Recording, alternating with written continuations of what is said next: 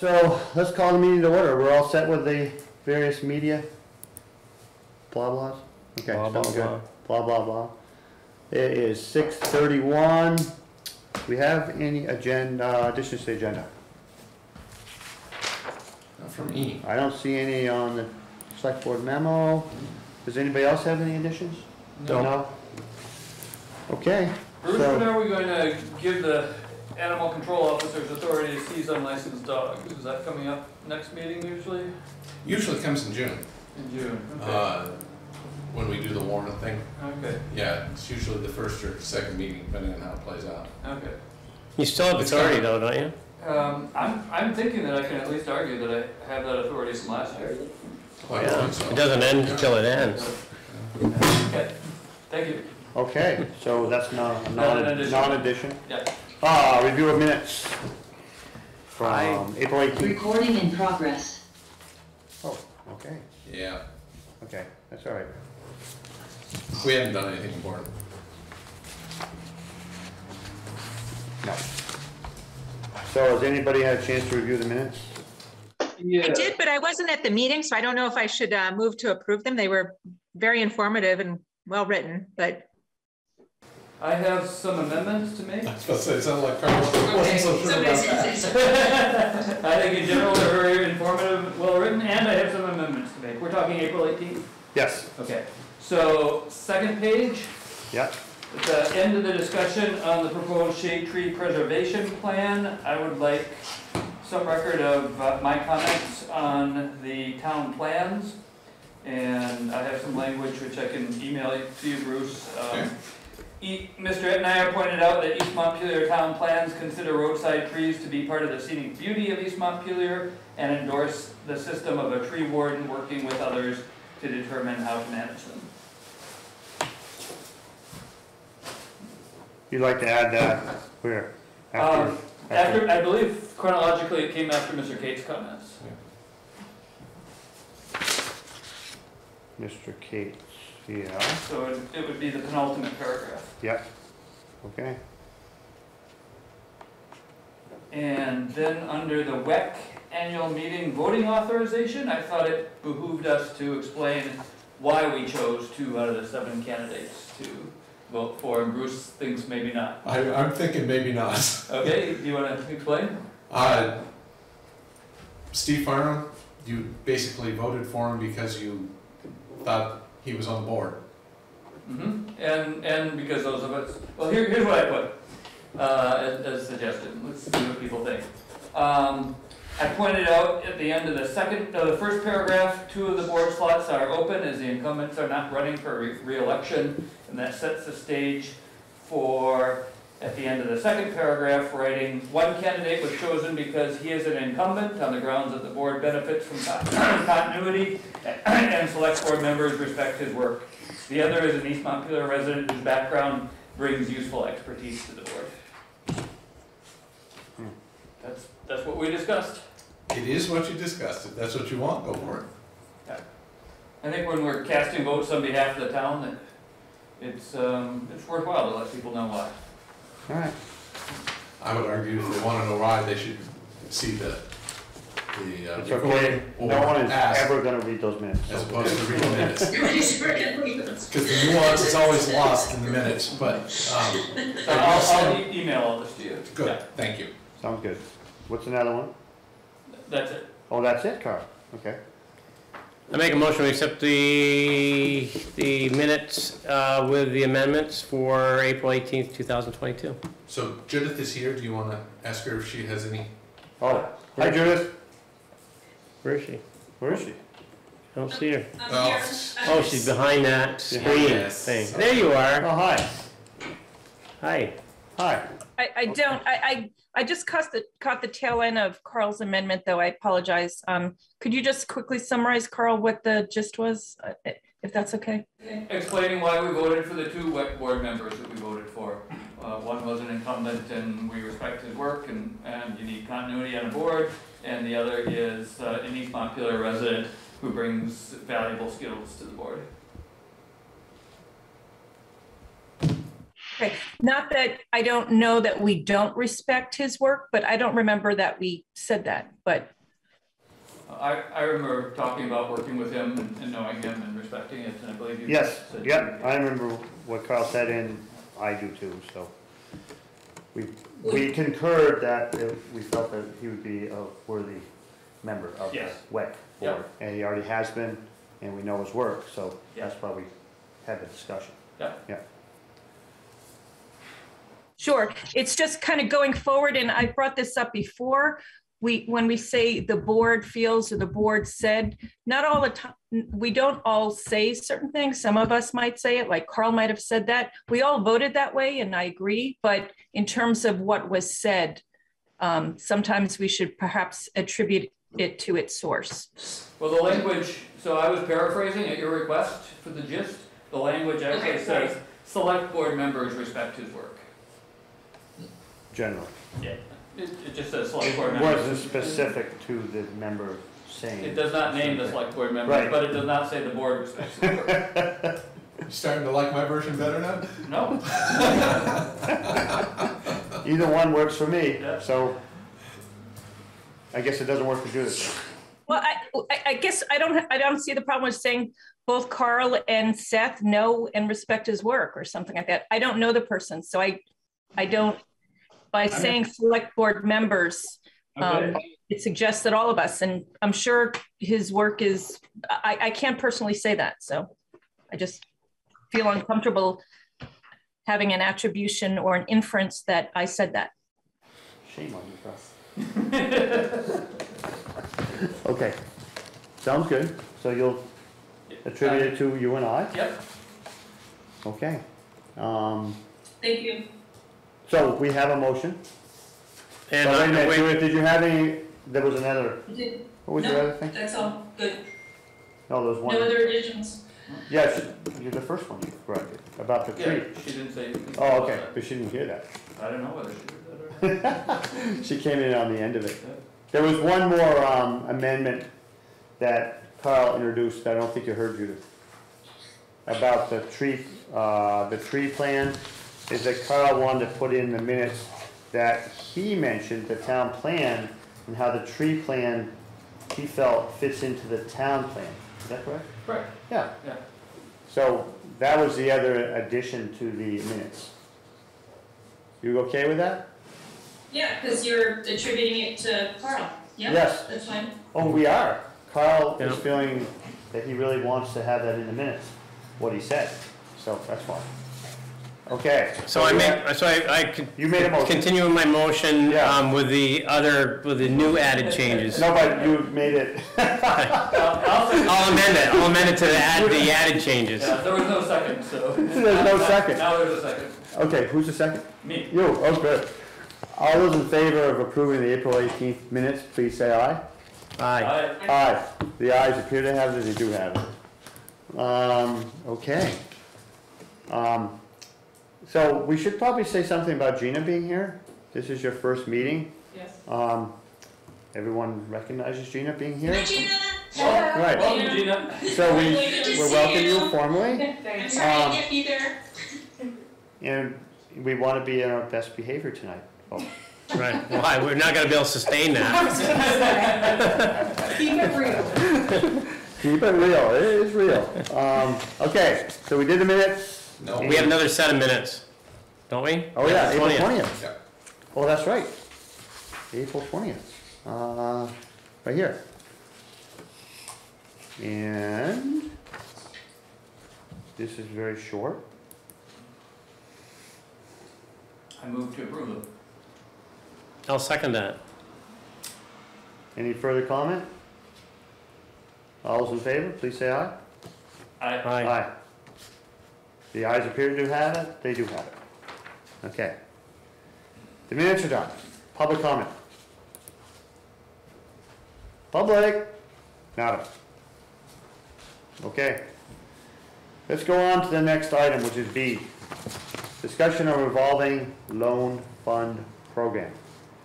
And Rebecca Schrader Is is our revolving loan fund advisor. She is here. Hi, Rebecca.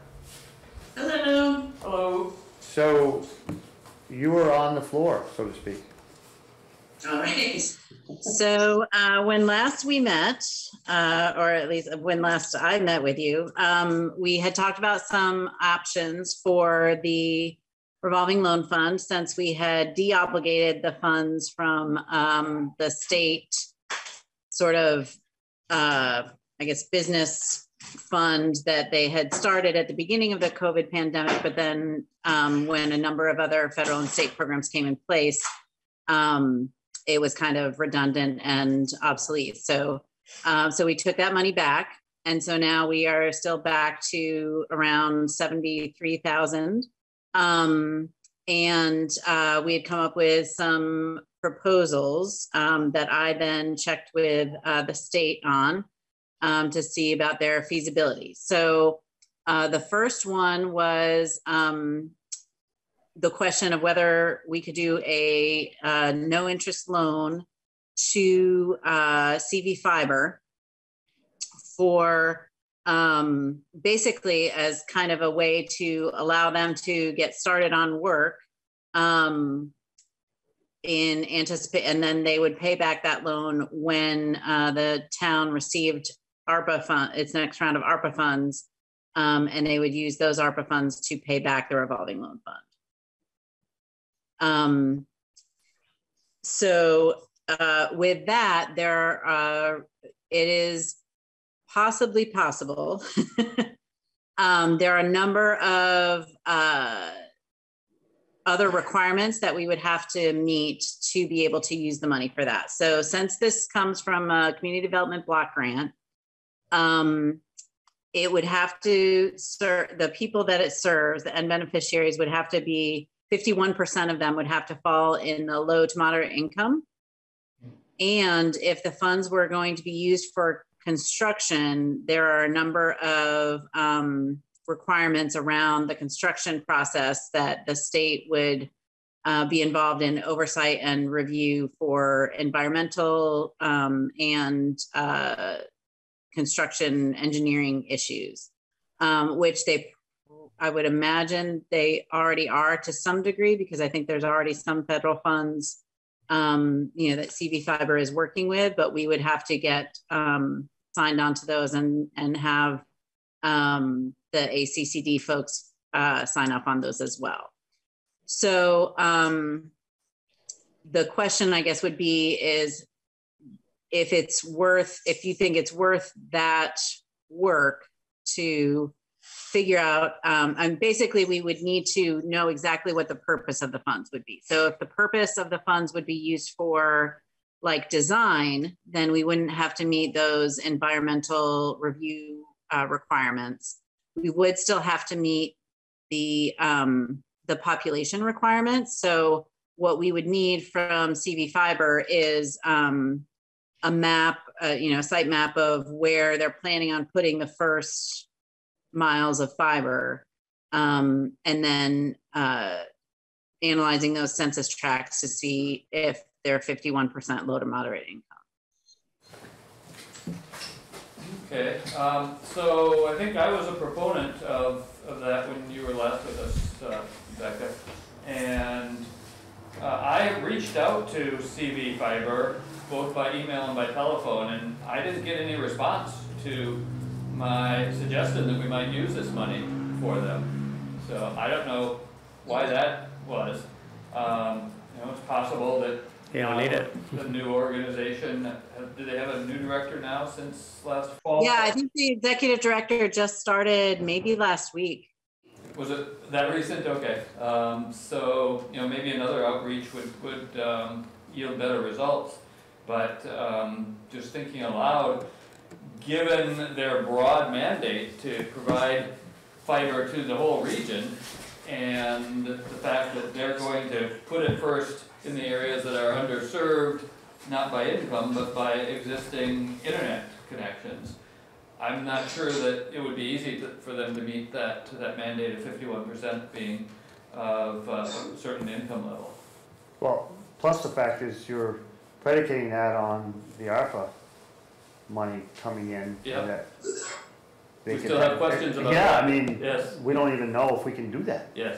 So it's like Yeah. eighty, Yeah, sounds like, sounds like, It sounds like, I mean, it sounds like that would be a huge pain. I mean, from what you describe, like, okay, it's maybe doable, but it sounds like a huge pain for seventy-four thousand dollars on a multi gajillion dollar enterprise.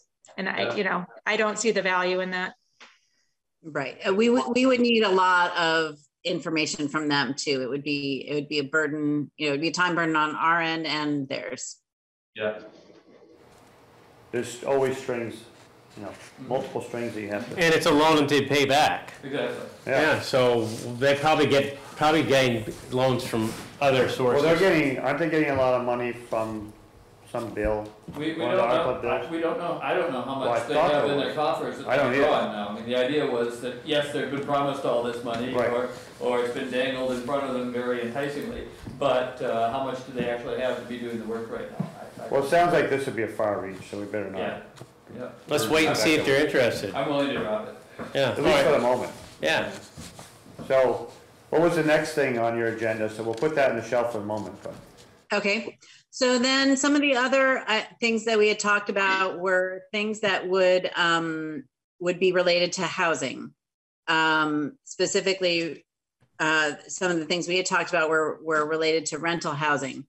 Um, but I think it's a good idea to to maybe just step back and uh, talk about so the you know the basically the the funds can go in in one of three directions. Um, one is for you know the the municipality can use it for public projects, which is what the you know the internet um, one would have been. Um, it can be used for housing, or it can be used for to support small businesses.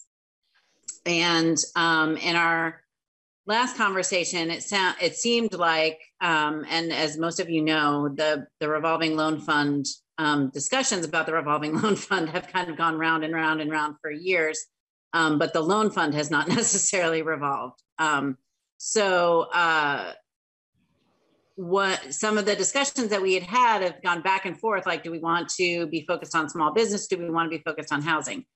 And um, it sounded like people were leaning more towards housing um, when we met last time. And we had talked about two possibilities one being a um, mini grant program for landlords to, uh, to do energy efficiency projects for rental housing, um, which would then benefit the tenants who are often paying, you know, if the tenants are paying the utilities, um, then that's a, an ultimate benefit for them. Um, and then we had also talked about a security deposit grant or no interest loan program.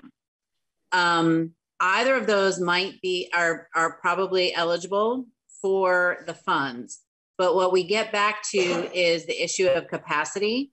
So if we do either of those programs, the town then has to run it. So that means you know time on the treasurer, time on uh, you know you'd want to you would need to put up put together a committee again, um, come up with an application process, et cetera, et cetera. So um, in the past, we had talked about when we were looking at small business um, possibilities, working with um, possibly Community Capital of Vermont um, or another uh, loan fund that works with small businesses to do um, that sort of work. Um, if we want to go the housing route, there are also organizations like Downstreet um, and that kind of thing that also do that kind of work. And so, um, in my conversations with the folks at the state, um, they were really suggesting that we find a an organization like Downstreet. Um, and one of the things that they're going to be doing for us is putting together a, a group of organizations that we could choose from that would be good, you know, that do similar work with other revolving loan funds. And um, and then we would assign the funds to them.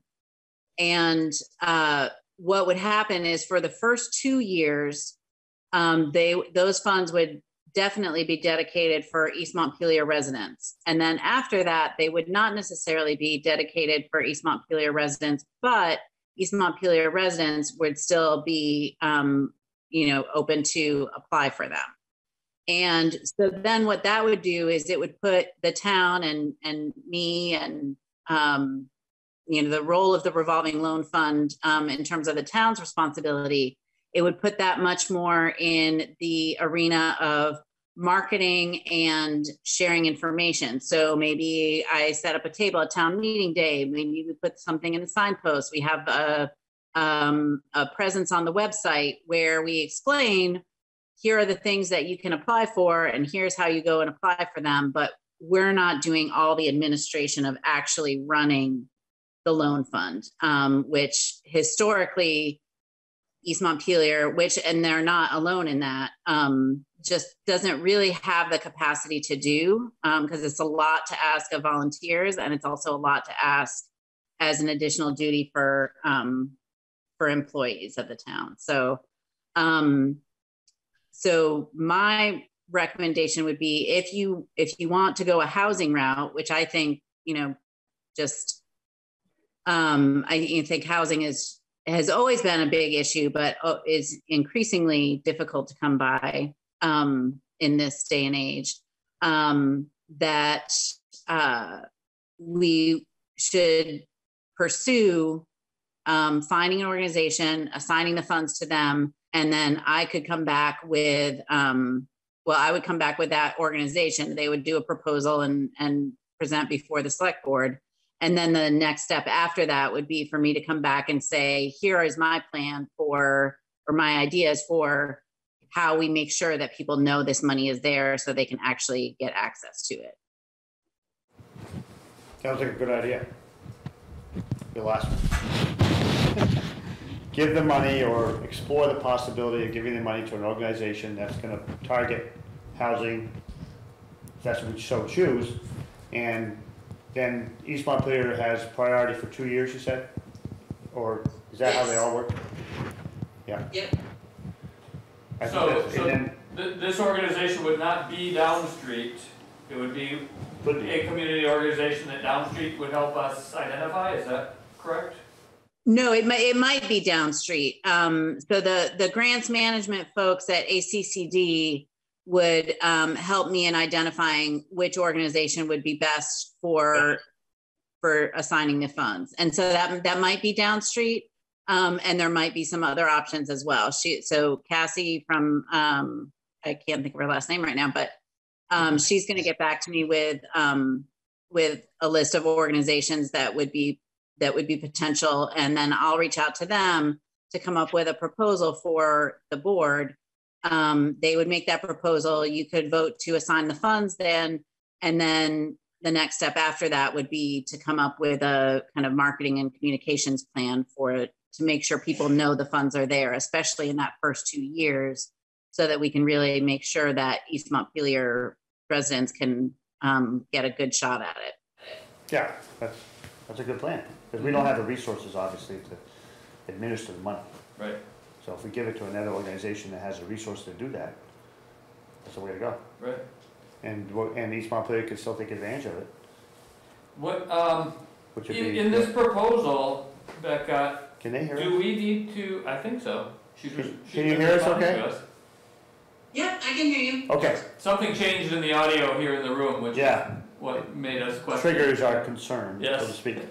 Uh, so, do you need any input tonight from the select board as you go out on this quest for organizations to, uh, uh, uh, assign the money to, as to whether we would prefer this security deposit loan grant program or the mini grants for energy efficiency? Um, no, not necessarily. I just need to know that housing, if, if we want to go to housing versus small business, um, that's really the, the umbrella. And then we can, um, you know, once the organization is identified, we can let them know these were the, the plans that we had actually come up with. Housing. Yeah. I, I think that housing direction is what we feel would be the best direction at this moment. Okay. And thank you, I think, I think you're, you're on the track that will work for us. So we don't, because we want to be able to give this money to a worthy organization that's gonna do, uh, housing as we perceive it. And, uh, we don't have the resources, obviously, to do that ourselves, so I think this is the best way to, to move the money on Yes, instead of just sitting there. Yeah. And we have to do that. So you wanna get a board consensus on that? Well, that's, I you on board? don't have a problem with it at all, right? Okay, we have two other members tuning in. What do you think, Amy and Judith? I think it makes sense to explore organizations that might be able to um, funnel the funds. I think housing is a critical need, and I think we have money to help address the shortage. I think that's a great thing to do. And, the- and the money's been sitting there for a while. That's the problem. Like for how many years? I mean, it's, it's Built up. become like this. Yeah, but it's kind of become this seventy-four thousand dollar albatross we can't get. But yeah, I think it's a good idea to explore that. You can keep that money forever as long as it goes in and out and is used for the Yeah. right thing and But you, but you can't just sit on it. No, the uh, town of Hardwick has almost eight hundred thousand worth of that money. Wow. And they've been using it since nineteen eighty-eight. But this will sign it away. Right, I know that. Uh, the That's- last one we assigned away, the Fairmont ones, Yeah, turned into good money for community capital. right, yeah. Uh, This seems like the, since we're never going to You- get our act together, this seems Well, like a That's fair- why I agree. Okay, we could find a worthy recipient in East Montpelier, but we don't have the machinery. You don't have a policy in Administer. place, you don't have any applications in place, you don't have any of that Yeah, we don't have the machinery to do it. That's right. So let's move it on to somebody that does. Yeah, It sounds like a great idea. yeah. So I think we have board consensus. I, I don't want to speak that term, but everyone seems to be on board, Rebecca. So I applaud your efforts and move us in that direction, please. Okay, great. So I'll, um, I'll work with, uh, ACCD to get a list of organizations and, um, hopefully in the next month or two, we can have them come give a proposal. And then, um, and then, uh, we should hopefully be able then to kick off, um, kind of communications and marketing about it, um, with the new fiscal year. Yes. Yes, sounds good. Okay. If you need anything more from us, just let us know.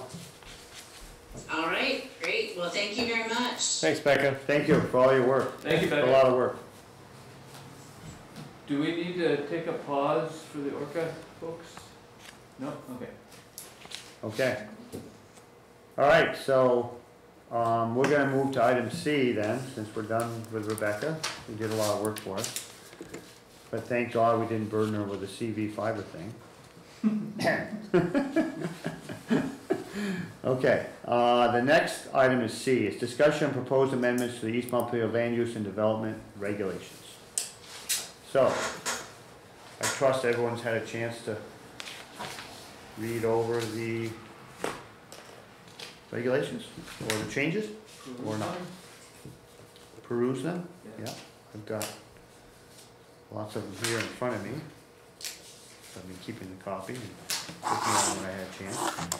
Uh, so, So the board m- annotated memo says that this is designed to be an initial general discussion.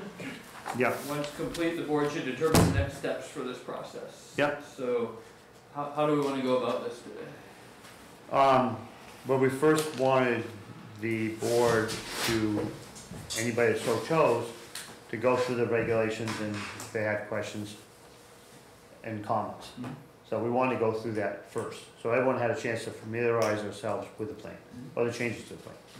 So, we had homework to do. Have you been working on, it, John? I have copious notes in here, but I didn't find anything, any major issues as far as I was concerned. Well, you, you did comment, the last time we talked about this, is how you didn't realize East Montpelier had such, um, what, Uh, invasive. invasive, I think that was. Yeah, they the- tell you when you take Yeah. down your snow fence and which, how you fence. Exactly, and if- so, um, That's not part of this, so, so I don't care, it's already there, it's, it's, it's, uh, yeah, and perhaps it hasn't, I mean, is there something we should take out to make it no, I'm seem less not. invasive? No. No? I took my snow fence down today, I was a day late. I think it's April thirtieth, right? Uh, But I was out of April town. 30th? I figured that Bruce would be up there with a big sticker to stick on my door saying you're in violation of the zoning regulations for snow fences. He was out cruising today. Okay, but you've gotta realize. You started me into this. That- no? that Bruce, um, doesn't like to do enforcement. I, I'm, I'm trying not to be impolite and say something rude, but he's not gonna go around with a big stick, okay? He's not going to. I But took- we have a new town administrator that may like that activity, so perhaps we should take some of that stuff out. Well, then But we'll it's a let zoning be doing administrator. Right. It's not a town administrator. That's right. But maybe our new zoning administrator will like that. So maybe we should take out, um, various enforcement possibilities in there. That true? If You we- probably don't wanna go down that road. No, Well, we don't wanna go down the road if we have another zoning administrator that thinks they should be enforcing. Well, if you want the planning commission to go down that road, you might wanna tell them that. But you might wanna give them some parameters for Yeah. which to. what to touch and what not to touch? Yeah, Yeah. Yeah, so, And, and if we do go down that road, then they need to make some changes, hold another hearing, send us, vote on it, send us the changes. Did you, is there anything that anybody found in there that was overly invasive besides snow fences? And, and your, and your, and, and your, and any fences you build, you gotta make sure that you have the front side facing out and the back side facing in. If you reverse that, you could be in trouble. So I, had- I had a question about setbacks. no, that's, that's a different thing. Yes, right. we're moving on. Okay, well, we'll just talk about fences first. So. um, I just thought it was kinda Okay, so funny. what you're saying is, there is an opening there that if someone wanted to enforce against fences that had the board turned the wrong way, Yeah, that that could happen. right, that's what I took, that's how I took it. I think we should mention that, as I'm not in favor of that. So what I'm saying is, we have a zoning administrator that doesn't like to go around looking at fences in the wrong side of the board, he may not even know the difference. But the next zoning administrator may choose to go around looking at fences and they may know the difference between a board that's turned the wrong way. What do you think? You don't care? You're Not thinking- really. I don't like to leave my snow fence up year round anyway. Gets hard to mow around it. I think we should make that comment, that it's a little invasive about the fences. Um, I don't think we should make that comment. I, I guess, I think it might have been John or someone talking about, um, I mean, I don't know that we should predict or anticipate what the new zoning administrator, whether he or she, um, their comfort level with various, varying aspects of the, um, bylaws. I mean, the, if, if their job is to enforce things, then that's their job. Um, we shouldn't, we shouldn't wait to kind of, you know, see how they feel about it. I, I, or maybe I misunderstood what you're saying, but um, I think, you know, for most folk, it's like John that, oh golly, I forgot, and you're a couple of days late and no one cares. Um, but, you know, just having the requirement for how it should go up, it's, you know, what we hope people do. Obviously, not everyone will, but the hope is that they do. And if you don't put in what you want people to do, people might not do it or might keep it up, their snow fence up all summer. We have a reading what? group in my neighborhood where we look at the land use regulations, so we make sure that we follow the snow fence rules. Oh, yeah? So I'm really, I'm not really joking, it's like if you have things in the plan that are supposed to be enforced, like the snow fence, do you want that in there? Because someone may want to enforce, and if So- we have it in there, then they will enforce it. So let's take a step back. Okay, What we're doing right now is we're reviewing proposed changes that the Yep. planning commission has given to us. right, And what you're suggesting is that there are other additional changes uh, that, uh, that you've identified that you think maybe should happen. oh, Do I'm, do we need to have that discussion tonight, or is that, I mean, we have forever to talk with the planning commission. Maybe we should be creating a parking lot and say, okay, planning commission, here are some other issues that we'd like you to take a look at for revising these.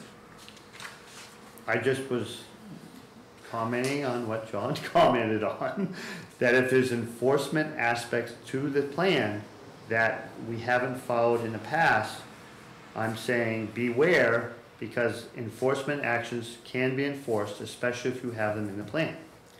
And we haven't always enforced things in East Montpelier, but they're in here. And none of these things you've identified are proposed new changes from the planning commission. I don't know that they are or not. No, they're not. They were They're already there. existing. They, They're already there. like, we've already Right. moved beyond those But we can years move ago. on in the discussion because you have setback comments. I have setback And we'll just keep that in the back shelf for the moment. Yeah, All right. So let's, let's say what you're gonna say. Yeah, or, or it's We have half an hour to bat this around, so it's fine. But anyway, So- setbacks. Setbacks is something that I have talked with the planning commission about for a nu- Yes. a number of times Yeah. over uh, quite a few years. Mhm. And I have been concerned that it's illegal to build things in Montpelier, East Montpelier, that look like East Montpelier does right now because of setback requirements.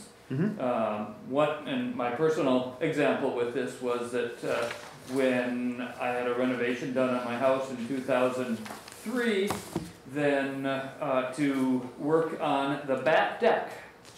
The back deck to make it smaller, actually, but to, to do work on the back deck, I required a waiver because the back deck was too close to the road. And, uh, you know, that, I was able to get the waiver because it had been an existing thing there and so on and so forth. There's nothing that I had done to aggravate the condition, but, you know, people shouldn't have to go in to get waivers to, uh, work on their back decks because they're too close to the road.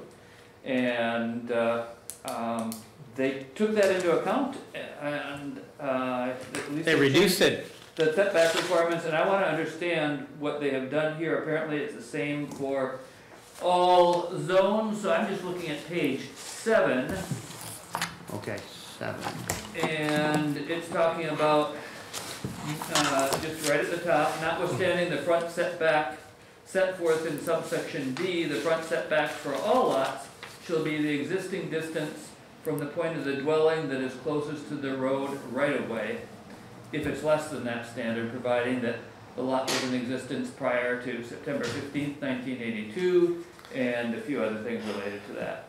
Uh, so, one of my questions is, it says the dwelling, and I, uh, what comes to mind for me is a garage on my road that was built originally quite close to the road, and there were some problems, given the zoning regulations and the setbacks, with authorizing rebuilding it. And I'm wondering, and, and perhaps Bruce, you can tell me, uh, whether this new language would have affected that situation at all. So no, Okay, the, what you're looking at is a revision of the relaxation that was put in in zone, for zone D about twenty years ago, okay, expanded to zone E, so both zone D and zone E, for lots that were smaller than three acres. What they're doing this time around is taking that concept and applying it to all zones. okay, What it's saying is if you're a developed house, like what you've talked about, yeah, your front setback will be your front setback, whatever it is now, it will be. That's your dwelling setback, Right. not a garage that's sitting on the right of way like the one you're talking about. Not accessory buildings Whereas your house, is your now, front setback would now be the you're front of your okay. house. okay, Basically, Whereas you're right okay. now, it's still true that much of your house is non-conforming. okay, Uh, Oh, it would no longer be true. Right, You would now be conforming to the front setback. Because you can go to the closest setback to the road of, of the properties already in non-conformance. no, the dwelling. Yes. Right. Dwelling. The No, I meant, I meant the building that's in non-conformance. You can go back to, the- to the most non-conforming Yes. piece of property, uh, of Well, now it's building. conforming because it is what it is. Right, Okay, yeah. the problem that Carl's saying though, is his garage is still not conforming. He still can't, it's, it's just a dwelling, It's it's not the accessory yeah. building. But it's pre-existing Yeah, So non-conformity. this is a situation that probably shouldn't be discussed too much because it went to DRB, there was a threatened case. action. So let that one go a little bit, but it does not change that situation at all. yeah, Mhm. Because that is a garage versus a, okay. a Dwelling. dwelling front. And then some of us have barns, which are closer to the road than Yeah. setback, people build barns close to roads.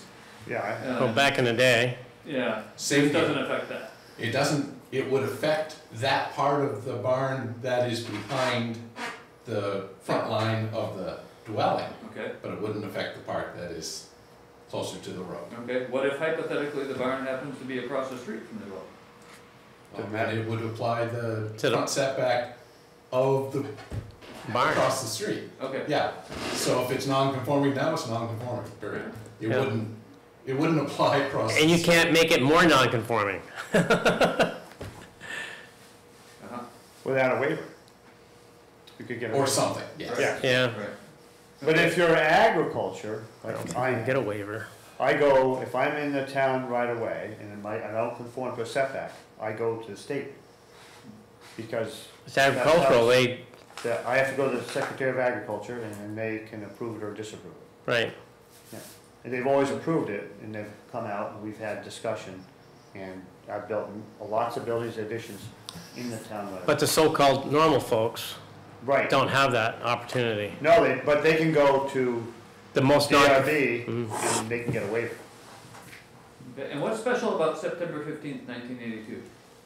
That was the date of a amendment to the zoning regs.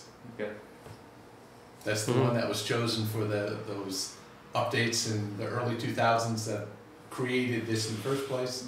And as I said, they just pulled this forward Mhm. and expanded its application. because you can't go back, you can't go and, and suddenly make, you can make everybody non-conforming, but you can't make them move everything. If you, ch- if you change rules and suddenly make people non-conforming. Yeah. And so that's why they always have like a bi- a major date when that regulation was passed. And that was when we last altered our districts. That's Yeah. when, you may not remember this at all, but we had a lot more zone E, so the seven acre zone, Mm-hmm. and we created a big chunk on Route fourteen that went from zone E to zone D. And that initial foray into this uh, clause was for zone D. So they targeted that date when those regs went live to be the, the start date of all of this. So why would we not want to say, all, everybody who's built right now is conforming? They're- Because they're not conforming, but they can be an existing non-conformity. Right, why would we wanna say that somebody whose house was in place on September fourteenth, nineteen eighty-two, closer to the road than the official setback distances, fine, you're good to go, but somebody who moved in the next year in a house, sorry, you're not conforming. That house should have been conforming when it was built. Right. After eighty-two. The concept It was is that even- they caught, they chose that date because that was the last time they altered the dynamic for the Yeah. districts. So everything before eighty-two, this applies. They might have been non-conforming after back Everything then. after should apply the rules that we have. Should apply, right? Yeah, Okay, Okay, but, but Kyle, and I'm not trying to single you out, but you have talked about the setbacks are, the seventy-five feet from the center of the road was not a good idea, Mm, right, and I agree with you on that. right. But did we address that in this document? yeah. Yeah, So now the doc, so now the setback's what? On, For on which zone? building? it depends on the zone you're in. Choose a zone. Okay, what about zoning? Alright, let's look at zoning. This is a really Which good time page? for me not to bring my Which page glasses. should I go to on this thing? Uh, page twenty. Page twenty, okay. And the setbacks have been changed to forty feet from center line, right now Okay. they're seventy-five, Yep, and twenty-five feet side and rear, right now they're fifty. Yeah, those seem reasonable, yeah, that's a lot better. yeah. It is a lot That's better. great. Yeah, So forty feet from center line is essentially, uh, Pretty close. pretty close, yeah. Yeah, because the traveled width on roads are 20, 25 feet.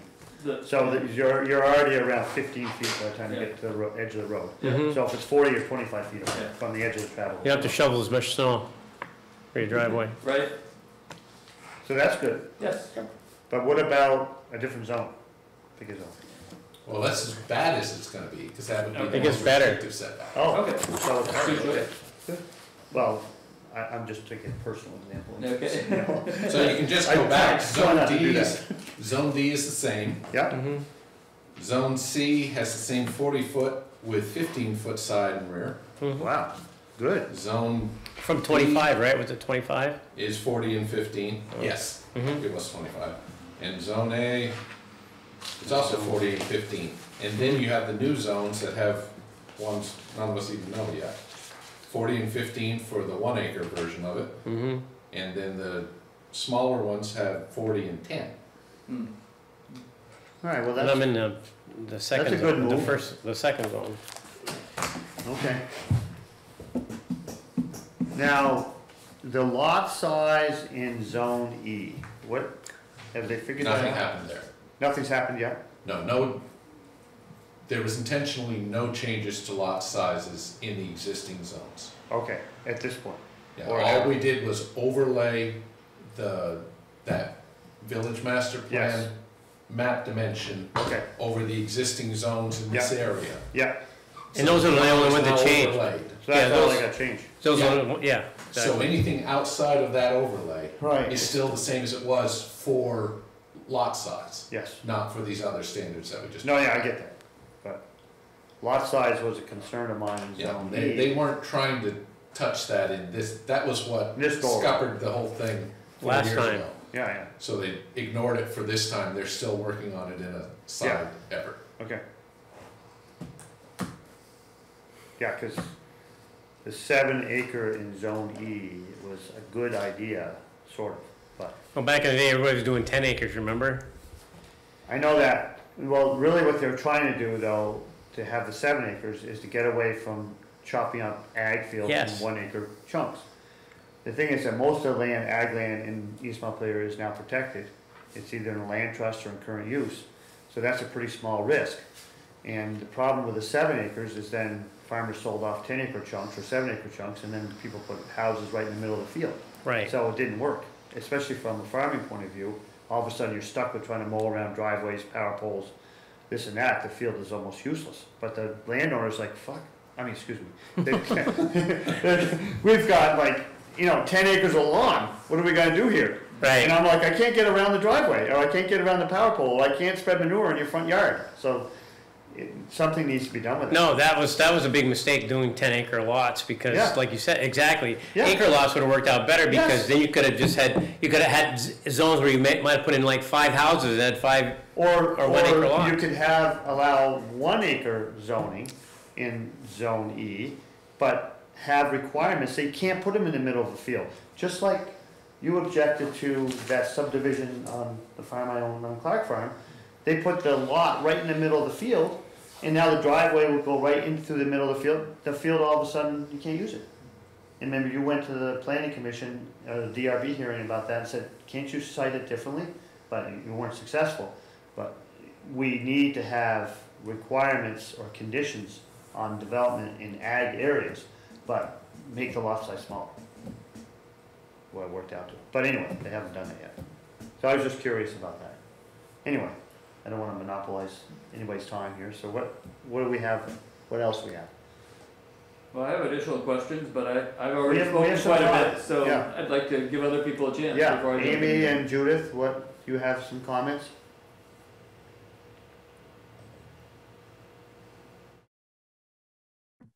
No, I'm, I'm frankly, I'm still kind of digesting it, to be honest. Okay. And Amy, are you still digesting? Likewise, yes. I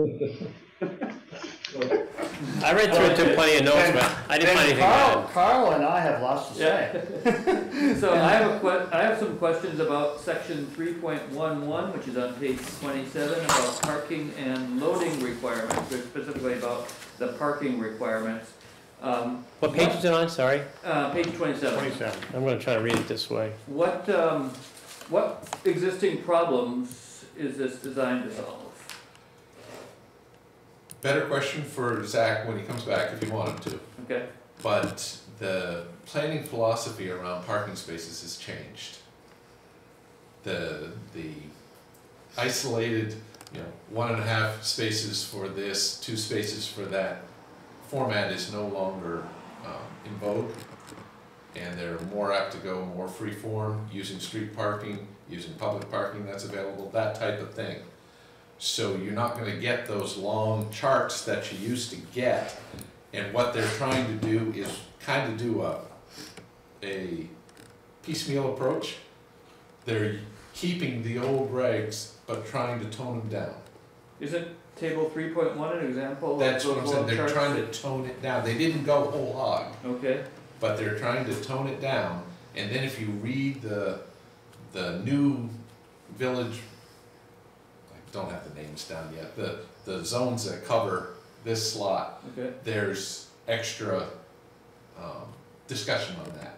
okay, So, as I said, they're, they're trying to kind of have it both ways. hmm, They're working toward, but they're just playing with this right now.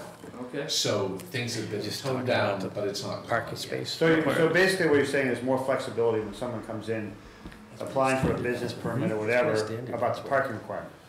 Because the parking requirement was on the honors before.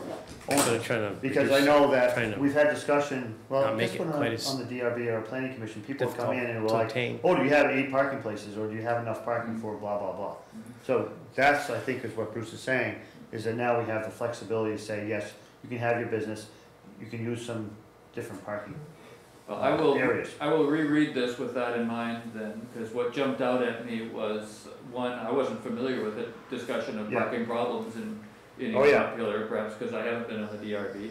Um, uh, but two, uh, you know, I'm in line with that movement in parking philosophy that Bruce described. Yes, And I want to avoid things like, there was that silly case, uh, uh, I'm not sure how it was resolved in Montpelier years ago, where, uh, a hou- homeowner on Main Street wanted to rent out some rooms as offices to somebody, and she was required to put in parking Yeah. for them to get that permission. Right. She said, well, look, it could be somebody, you wanna have a walk, walkable downtown, it could be somebody who's walking to work. right, Uh, or, you know, if somebody's not walking to work, I could rent parking from a church that right. doesn't, has a lot that's not used much on weekdays. And at least initially, there was pushback from the city, I, I wanna avoid that. Well, that's the way, it was that way in East Montpelier too.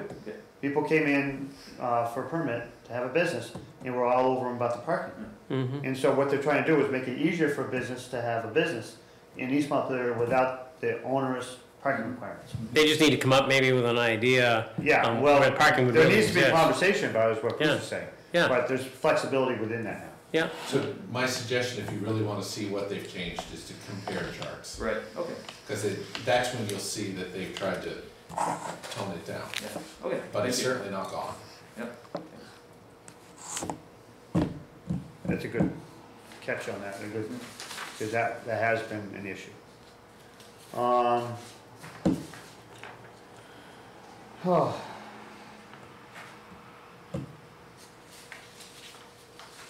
So I see there's some, um, comments or changes to the PRD, PUD aspect. Well, that was the number one change, what you just said.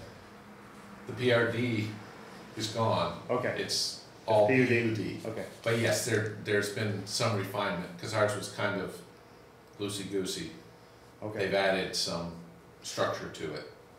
Can you tell me what that is, or that may be? Could, could somebody explain what planned unit development is, just so we're No, all on the same it's a page? good thing to talk about, Yeah, it is, It is. absolutely. yeah. So it's the, the same concept that we've discussed before, that, that you wanna have um, ways around the strict regulations when there are more um, appealing options for condos, for multifamily residences, any of that type of thing. Yeah. Or even the Shapiro, uh, Yep. Friedman, Dillon Road thing. Yep. Uh, that's a PRD, back in the day when PRD was still acceptable to say. Uh, PUD is planned unit development. That's the phrase now. It was planned residential development before, Yeah. PRD, and that's not acceptable to say that. It's just been overrun. Yeah, It's, it's one size fits all now, rather than trying to figure out. What's the difference? Planned unit development Yeah. used to have commercial aspects, and the planned Okay. residential didn't. okay, Uh, now they just wiped that all out. Okay. They're all one. okay, Uh, But really what we had before was just that very um, simple, basically a density waiver. Uh, If you wanted to do ten lots in forty acres in zone E, you had to do the math, see if you could do a P, P, plan unit RV at the time, uh, and fit it in. Mhm. This is a little more refined, it gives more expectations on PUDs. Nothing, I don't think it changes one whit how it affects us. Okay, It's just altered the way it's phrased and the way it's organized. Okay, If you look at all of the old section, you'll see a lot of it's been cut and pasted from X to Y to Okay. Z. Uh, but it's still there. It's Okay. just organized differently. okay, so, just to, just to be clear, on uh, PUD, say we did it in zone C, which is three acre minimum, is that Mhm. correct? Would you have to have three acres for each unit that you were putting in one corner of the bigger piece of property? No, you'd have to have the density available, so if you had a hundred acres Yeah, and you wanted to put in ten units, yeah, bad math. that's ten acres, Uh, doesn't work. Yeah, let's thirty 30 acres. acres, wanna put in 10 ten units. units, and you wanna put them all in One that corner. one corner. Yes, could you do You it? have the density available for the three acre zone to do Yeah. and you have the flexibility under the PUD To put it in one Rules. place, to put it in one, but you're still saying you have to have the acreage requirement Mhm. for the whole thing? yes. you Excuse, do. excuse me, there's someone in the waiting room. Oh, You can't expect me to talk and. No, well, no, we can't. So I would, I would think that one reason you wouldn't want, you, you wouldn't, you might have wastewater issues anyway, having them clumped together too as well. well, no, but if That's why you met gotta have- wastewater requirement, That's why you have to have if you're gonna put a land. PUD in, you have to have the gross acreage. So I'm not sure that, I don't know, I guess it's okay, but on the other hand, it doesn't lend itself to putting in affordable housing in one unit on a smaller piece of land. You may not You ever be cannot able to do do it. that anyway because of constraints of the soils. Yeah, but just say you met the wastewater requirement, you could put ten units on three acres. So this But you isn't can't a do it. variance provision, never has been. This is a way to cluster or, Yes, you know, I get it, blow through some of the standards. right. So they're not building in the middle of the field. No, no, Right, So you mentioned the density bonus that White Yeah. Pines got. You're saying that's out now? that, you'd have to read it because there's a few sections, mm-hmm. but it's different now. Okay. Uh, and again, you'd have to, I love this discussion. It's all right Yeah. there. Uh, uh, Okay, the way they phrased it, they have the general standards laid out, and you can have a density bonus for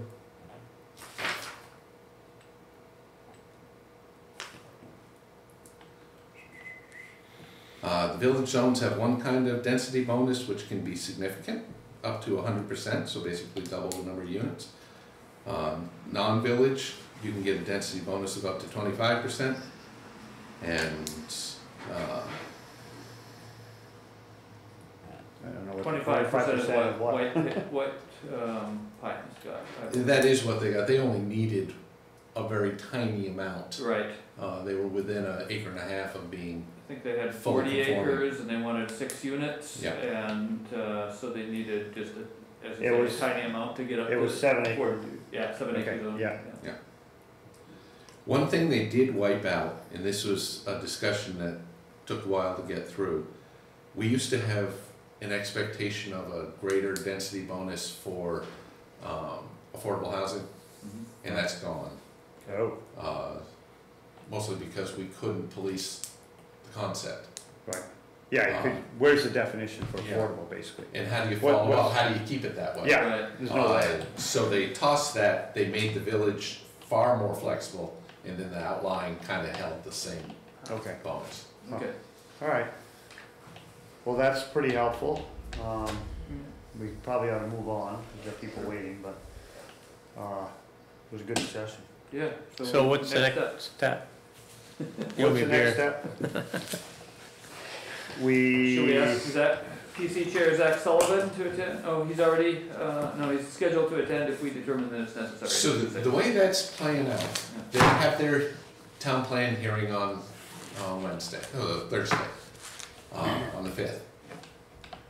He may be ready on the sixteenth to pass off the town plan.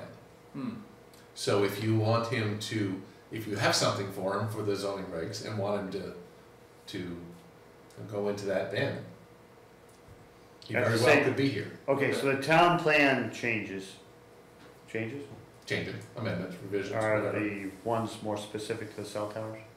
Yes, Yes, there's a tiny change in here, but it's of Right. no account. right. The bulk of it is in the town plan, that Yeah. new section. So he's gonna present it to the board? Now, assuming everything goes well Yes, on Thursday, yeah, he'll come on the sixteenth to present it, basically pass it off to you. yes. Um, So if we've got questions about this, at that point, we can ask him, You could, yeah, which I think is a good idea. Okay, alright? Yep. Fallback plan if he doesn't, if he doesn't come in? if in, he's not ready on the sixteenth we'll for wait till he's plan. ready to come in with a plan, and we'll talk. And then about do it at the same We'll do a time. twofer, Okay, yes, twofers are more efficient. Well, wait, does that mean then if, um, Could be another couple of weeks. could be another couple months if, The town If plan things- thing doesn't. well, if the town plan thing goes south, then Yeah. yeah, we ought to bring him in. Then we'll, we'll If you bring it want back. him yeah, Yeah, no, we do, yeah, in. yeah. Yeah. But my guess is it isn't gonna go south. Uh, they seem to have come to a compromise pro- position.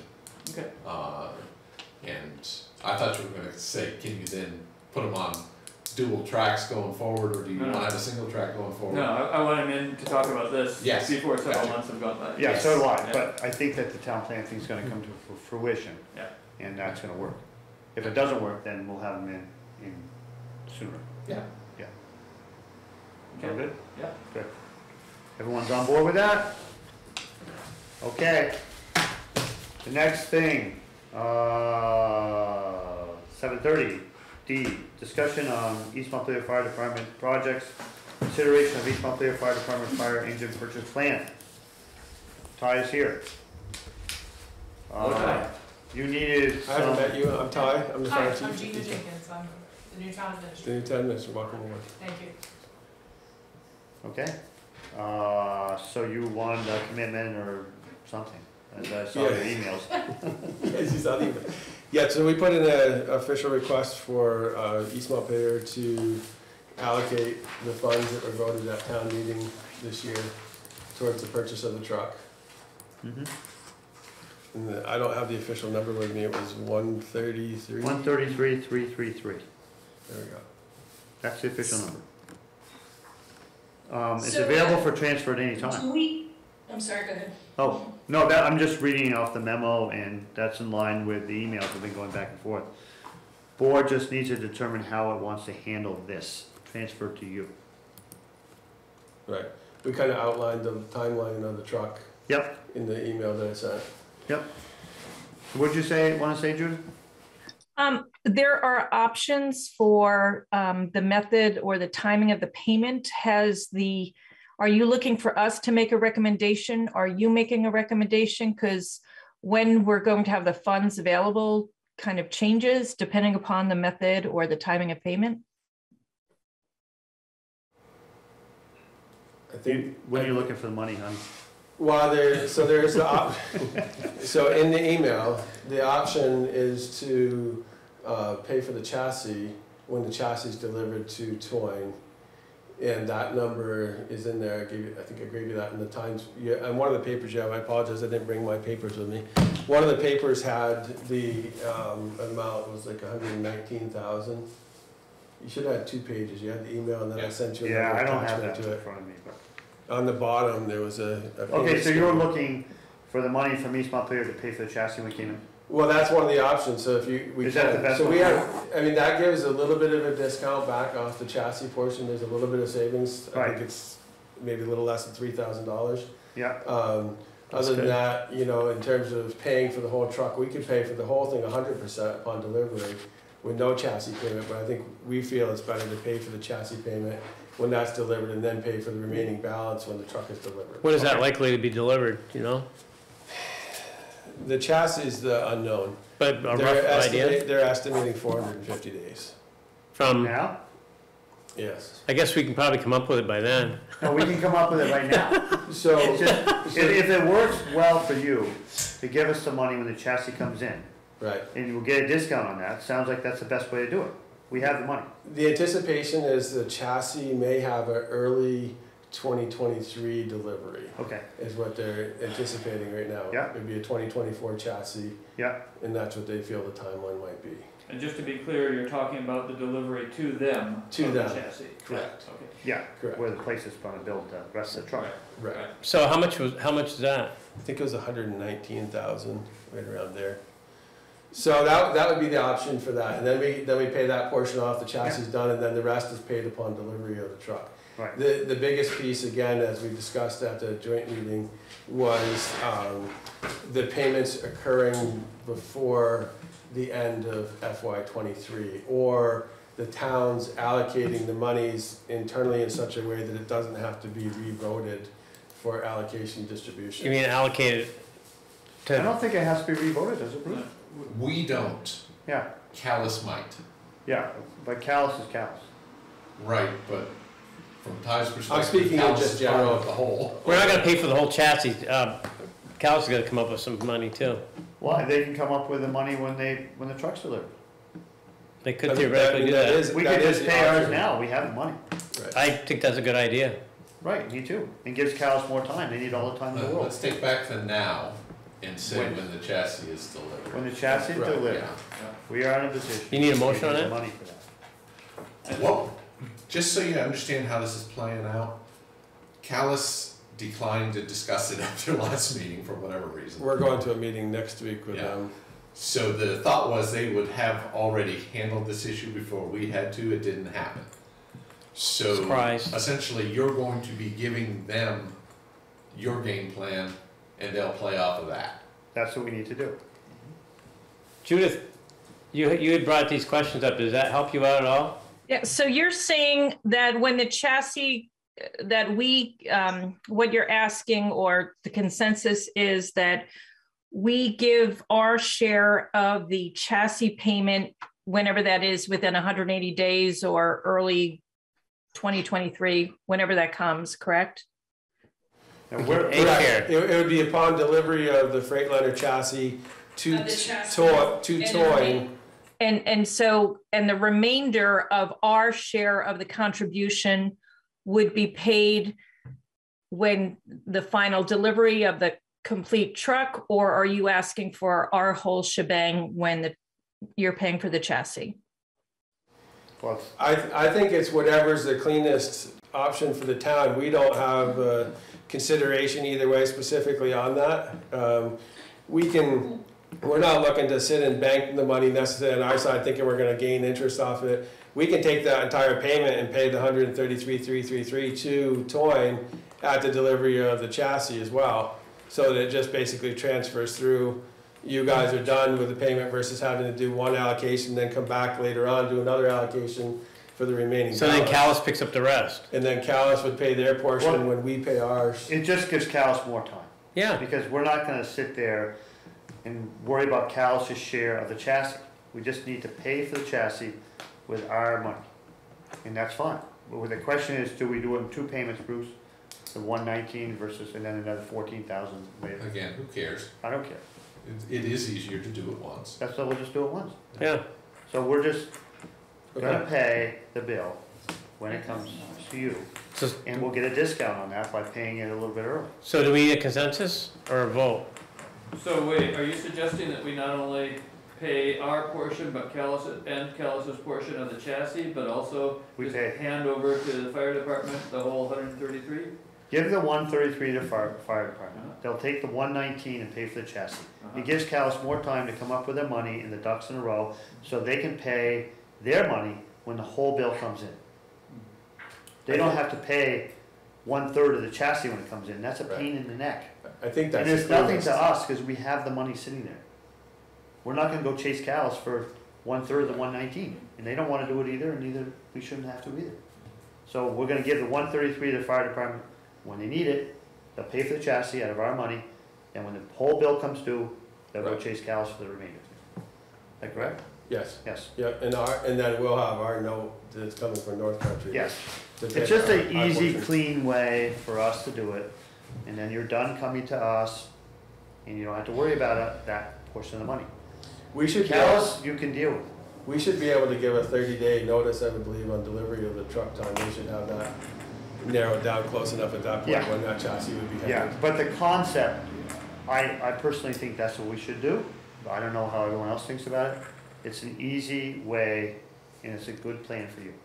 I have no problem with it. Why, why do we think that Calais is gonna have problems coming up with this money that they voted to? No, come up Calais No. will come up with the money, but it gives them some time. They may have to borrow the money. Well, they don't even have a treasurer now, right? Right, So, so they've got four hundred and fifty, well, how many days do they have to come up with the money for the bill? When's that gonna happen? Well, I think that, so based on the discussion, well, so the final bill would be upon delivery. Yes, So I that's all gonna come from, Yeah, you know, they could build it depending on where they're at as fast as ninety days after the chassis is Oh, okay. delivered. Whether that really occurs that quickly or not is gonna. so we're depend saying roughly five hundred days or something. That's what they're at, they're Yeah. right now in the contract, A year it's and a half. hundred and fifty days is what a year and a half. But it gives Calais time to borrow the money and go through their painful process. Right. But they already have a year to do that, right? No, yes, but this is an easy way for us to get the bill going. If you don't agree with it, that's It's, it's a clean way, and I think the other Yes. thing to remember from the discussion at the, the joint meeting was, you know, again, they need to be able to allocate those monies to be, uh, whatever fashion they need to within FY twenty-three. You have to Yes. obligate it. Right, Yes, and secure whatever loan or note. yeah, they it's need. easier for them actually, because then they don't have to be splitting up the bill. Right, Right, exactly. They don't have to come up with blah blah and then blah blah later on. right. So, Um, is there any risk that after we pay for the chassis, Um, Shaker Lee will go bust and they won't be able to finish or they won't be able to get the supplies needed to complete the truck. So that we're left kind of, we, we have a nice chassis, but nothing else. Um, Can you hold on a second?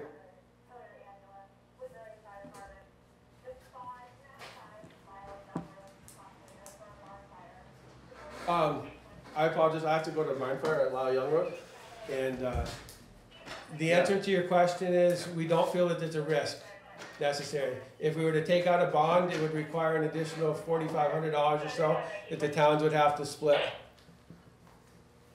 yeah, I, So, Okay. anyways, gotta go to Barn Fire. So they could, have- so you could have, an- go. Go ahead, go. Um, so you could have an insurance bond, Judith, please on that if we wanted tonight if we to. can. But it'd be another four thousand bucks. Be in touch. Thank you. But they don't feel that, that, he just said he didn't feel that it was a risk. Well, it's, you're still gonna have to pay, you could still, okay, so you don't have to pay for chassis when it comes in. You could wait until the whole truck is built. It's just that you don't get the discount on paying Oh, for that. okay, so wasn't he, didn't, but he mentioned a bond, a p- a performance bond probably, Yeah, I guess so. insurance bond. There is a, there is a bond, the, uh,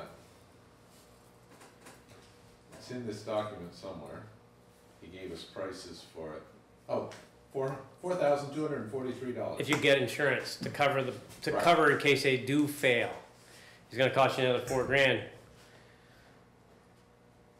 Yeah, that's, When was the last time something failed? Uh, Probably, what, Middlesex Fire Equipment or somebody? Well, isn't it more, you, the chassis will be under their insurance yeah, when it's, and that's when we're paying. yeah. So there's gonna be multiple protection things in there at that time. But I, I guess what happens if they don't build the- the part that goes on top of the chassis? The They go out of of the business, they go out of business, what happens then? yeah, Well, you'd still do have the chassis, you won't have paid anything. Oh, Do we, do we have a draft of the contract? We have, what he sent out, and it's in the, it's on the site, Yeah, no, no, I uh, it's just the proposal. That's all we've seen. Yeah. I'm wondering if he has the contract that we can look at? I don't think they do. Uh, I asked the same thing to Toby today. And basically, they're waiting to know what the timing is going to be that they can then go to this company and get a, a, uh, ironclad, uh, agreement going forward. They don't even know the price right now. The price has probably gone up. I'd be shocked if it hasn't. so we'll wait till we get a contract, till they get a No, I. I wouldn't. They're, what they're trying to do is get the approvals and then they'll go back. Nothing's gonna change the Right. fact that the chassis is gonna cost in the, the one twenty range. Right, And nothing is gonna change the fact that they're gonna have a three hundred thousand dollar payment, you know, ninety days later or whenever it is. right. But we could approve the concept of prepaying and our money going in. That's all we're doing. It's four hundred fifty days away. Yeah. And we can iron out details later. I'm just looking for on board, would we like to handle this business this way? I personally think it's a clean way to do it, and we'll get a discount by paying for the chassis, and that would work quite well. But it's over, it's a year and a half away. And I'm on board with it. Yeah, I'm on board with the concept.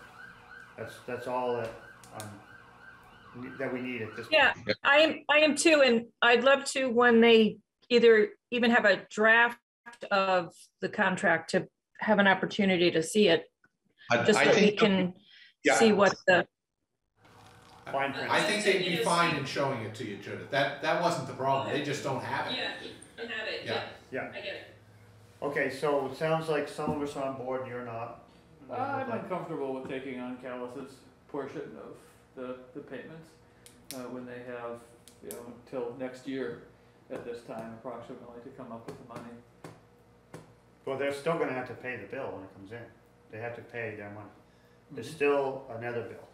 This is the first bill, the first stage, which we can get a discount on if we pay the money. It's an easy, clean way for us And if to we, pay for it. and if we pay for the chassis and that costs us, say we, we end up spending hundred and thirty-three thousand dollars, then, then Calais will come up with the re, the other uh, Yeah. half, hundred and thirty-three thousand or But the other part of this is, remember what you're approving here, is that you're willing to give the hundred and thirty-three, three thirty-three Right, at the time the chassis is constructed. right, The bill for the chassis may be one forty, Right. Doesn't right. matter. might be one twenty. Right. It's right, it doesn't Yeah. matter.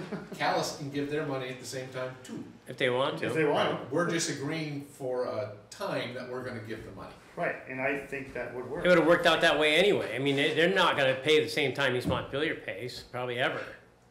Well, they will have to at the. Sooner or later at the end. The, there is a bill Right. ultimately that will come due. And if we haven't paid in the fashion that we're trying to do it, we're still gonna have to pay the money then. Right. But this is an easy way for the fire department to make a plan and get a discount, and it's an easy way for us to satisfy our obligation. And I don't think it puts us any more at risk than if we paid, waited till the end to pay, and, and, and then Calais didn't pay then. As far we as withhold our Cal- money then? We wouldn't withhold our money because we wanna follow through with our, with what we plan to do. Well, I don't think there's any risk at all with Cal's paying. It's just, it delays the time that the fire department has to chase them for their money. Right, You know, they're not gonna say, they don't want to have to go to Cal and say, well, we're gonna need twenty thousand this day, and then the rest of it then. They like, a cleaner way of doing it is like, let's take East Montpelier's money when the chassis is ready, we're, you're done. Then we'll go to Cal's and get the lump sum out of them when the thing is due. It's just easy for them.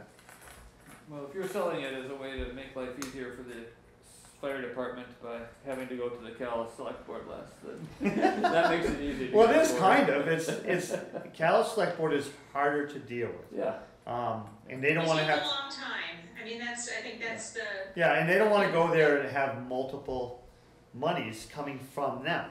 They would like to just get their money, and they would like to just get our money. Our money is easily had, cause we have it already. So, and Calais has to get a loan. Calais has to get a Do loan, it and that's a painful process. Anything that comes out of Calais is painful. We're trying not to be quite so painful. Well, especially if it's a loan, It's fine. Es- especially if it's a loan and like you're still looking for a tre- town treasurer. Yeah. Twenty-five hundred dollar bonus if you guys wanna sign on. A hundred, Twenty-five, no, it's twenty-five hundred. twenty-five hundred, okay. Well, Frimey's not that good, so maybe I'll try it. Okay, so, um, so uh, are most of us on board with this concept? okay. Cause I'd like to move on to the next. I am. I am.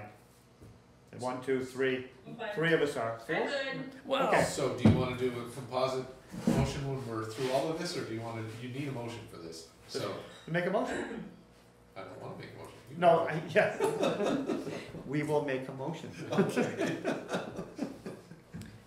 John, can you make a motion? oh, God. Uh, I make a Okay, motion sounds that good. East, that, that, that the town of East Montpelier contribute hundred thirty-three thousand, three hundred thirty-three dollars for the chassis payment on the new fire truck. When the bill comes due. When, the when, the when, yeah, when the bill comes due. When, when the chassis. Chassis delivered. Yes. The chassis bill comes Tick. due. and the chassis is delivered. It, it, it won't come due until it is delivered, Well, so there you go. we go. made sure of it in our motion. Oh, Yes, Uh, Okay, I'm there you go. Alright, yeah, okay, now we need a second for that. I seconded it. Okay. All those in favor, please say aye. aye. Aye. I, The ayes appear to have it, they do have it. Talk about painful. Ah, anyway. It's a good deliberation. Yep, okay. Uh, let me find the agenda here, let's see. And we can't talk about the, I guess we can talk about the East Montpelier Emergency Services Bond Remainder Fund use. No, no, you got a different question first. Oh, okay. Uh, You're also approving, I hope, uh, Oh, up to the use. up to use of the capital reserve fund. That will allow them to actually do this contract that we're talking about. Because until then, they don't have authority to actually use the capital reserve. Yeah, so we need an amount though. We have an approximate amount, and that's why the up to. Okay, Oh, So, okay. what's the amount? yeah, we're, What's the up to? the up to would be maybe two hundred and fifty, because their target right now is four twenty-five, we're giving two hundred. Yeah, So if you approve it to two fifty, yeah, that gives them a little Yeah. fluff. fluff. Okay, okay. so the mo- what, what would a motion look like? Like, what- to to commit up to, them authorize, This fire engine, up to two hundred and fifty thousand. authorize the fire department to purchase a fire, Well, they need to use the capital reserve. Using, Oh, they- utilize two hundred and fifty thousand of the capital Yeah, reserve okay. to purchase of this Yeah. towing. so fire. moved, So There you moved. go. Thank you. Perfect.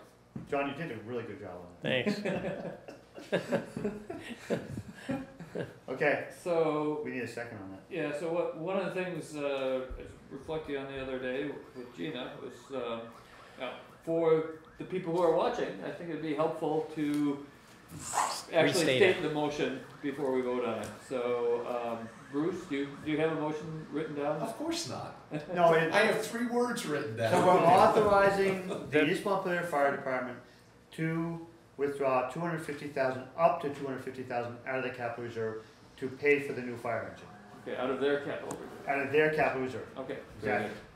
good. Uh, I'll second that. All right, all those in favor, please say aye. Aye. The ayes appear to have it, they do have it.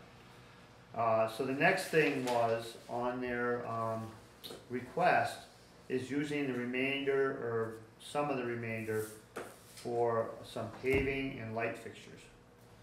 Um, so that's what I got at it. And Bruce, I, I read your second paragraph under that it Hmm. in the addendum, uh, the um, annotated agenda a few times, and maybe I've just read it quickly, a few times. So I I can please explain it explain. very simply. Yeah, Usually, we're, the protocol was designed to handle invoices after a concept was already approved, or the fire department just did it, and then tried to sell us on the concept after they actually had the invoice in their hands. mhm, This time, they're, they're back to trying to sell us on the concept. mhm. So what we're looking at here is to approve conceptually the use of the bond fund for these two projects. Mhm. When the invoices come in, that's when that fancy protocol we have Right, is utilized. okay, So we talked a lot about the protocol the other day, uh-huh, but it's clear they want approval ahead of time, and this is gonna be one of those situations where they go ahead with the project and then come to us after the fact to see if we'll allow the use of the reserve. I think it makes total sense for us to give them a signal about, uh, the, the concept. Yeah. Me too. Right, Yeah. if, they might not do it if we don't, we don't have any money. Yeah, Doesn't fit in their budget, right, wasn't in the budget. Right. so. I don't wanna have them doing, doing projects that aren't in their budget and, and then have us complain to them that they, that they So, did that. so Cal's doesn't have veto power, They don't have veto power over the invoices when they come in. right, but, Whether they have, doesn't matter, again, usually we do this together, and they didn't wanna meet jointly. Okay, So you're sending this signal, as Carl said, that you would either agree or don't agree. Uh, and hopefully they'll follow suit. I agree, they should use it for that. So, are we tying this to staying within the thirteen thousand eight thirty? I would. Well, actually, do they have any kind of estimate what it would cost? Well, they told us twelve thousand whatever Oh, it is. okay, So so, up to, up to thirteen thousand eight hundred and thirty. yeah, Yeah, it'll use up the money. So it it would be enough. this was a, a paving project and a lighting project, correct? That's Yes. correct. Yep. I hope, It's hope they using the check. excess bond money that we have sitting around. I mean, I haven't been out there in a while because I missed the last meeting. I mean, is, I guess I would just trust that this was something, I mean, the, the fire station is pretty new. I, I mean, it already needs to be repaved. No, it's just one section that was never Okay. paved and it's basically dirt. Oh, It gets very. Muddy and they can't really use it to store vehicles or for parking. So it's just a small patch. And the lighting is that they're, you know, the fluorescent lights and they want to get LED lights and Okay, some upgrades like that. yep, gotcha. Thank you. It's all good. And ESF, what's that? emergency services facility. Okay. Oh, I just thought of that. So, You guys the, are quick. the, the paving is to park the ATV trails, mhm, yeah, or RTV, or whatever you want to call it. yeah, Right, but whatever, yeah. it's not gonna hurt anything. No. Thing. Pavement's good in Vermont. There's mud, We, otherwise. we can, we can debate Or that, concrete works. but, Well, I know that, but but in we this have a lot of mud. in this case, we don't need to. No. So just out of curiosity, do you wanna limit this to the amount they asked for, Yes. No, as opposed to the amount of what we have left in the? Because they'll remaining? spend it all Oh, oh, anyway. sorry. Yeah, Yeah. no, let, let's limit to the amount thirteen eight that's three. left. Yeah, Yeah, So they, they gave us two numbers, the sum of which I think is, is, uh, twelve-three. uh-huh. If they spend all of it, then the fund is gone, that's a good thing.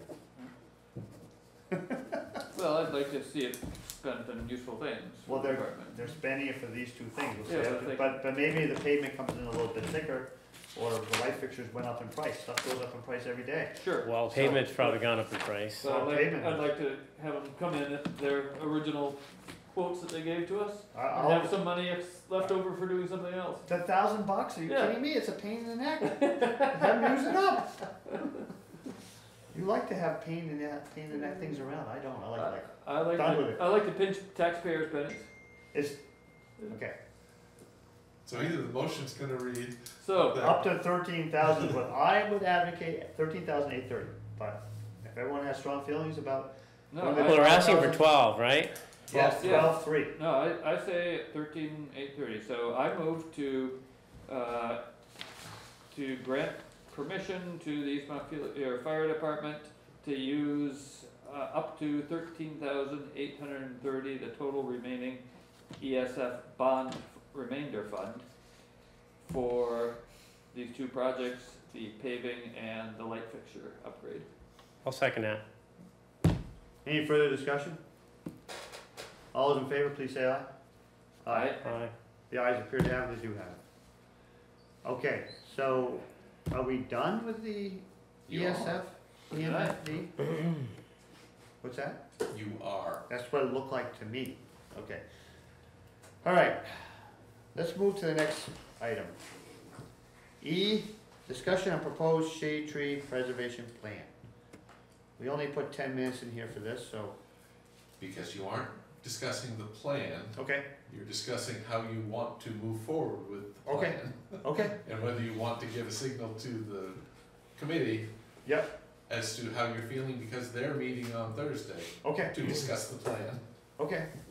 So, I'll let everyone else talk first, because I do have some thoughts about it, but, After our last meeting, um, just because I missed, um, his comments, I had a conversation with Michael, uh, Dwayne, um, and he had indicated that he would be meeting with, um, um, Jeff and the gang, um, to provide his input regarding kind of the concerns he had regarding the regulatory framework and having kind of the predicate language in there before getting to the kind of regulatory language. And I thought that was a good recommendation. Um, I would, um, I think, you know, what I heard from members of the committee last time was that they, you know, heard the, um, some of the questions, comments, concerns of folk and are interested in, um, you know, perhaps making some changes.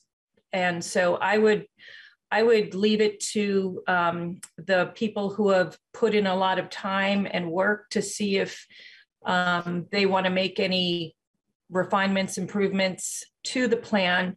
Um, and I would, you know, I would wait to, till we receive word back from them that they're ready for us to act on it.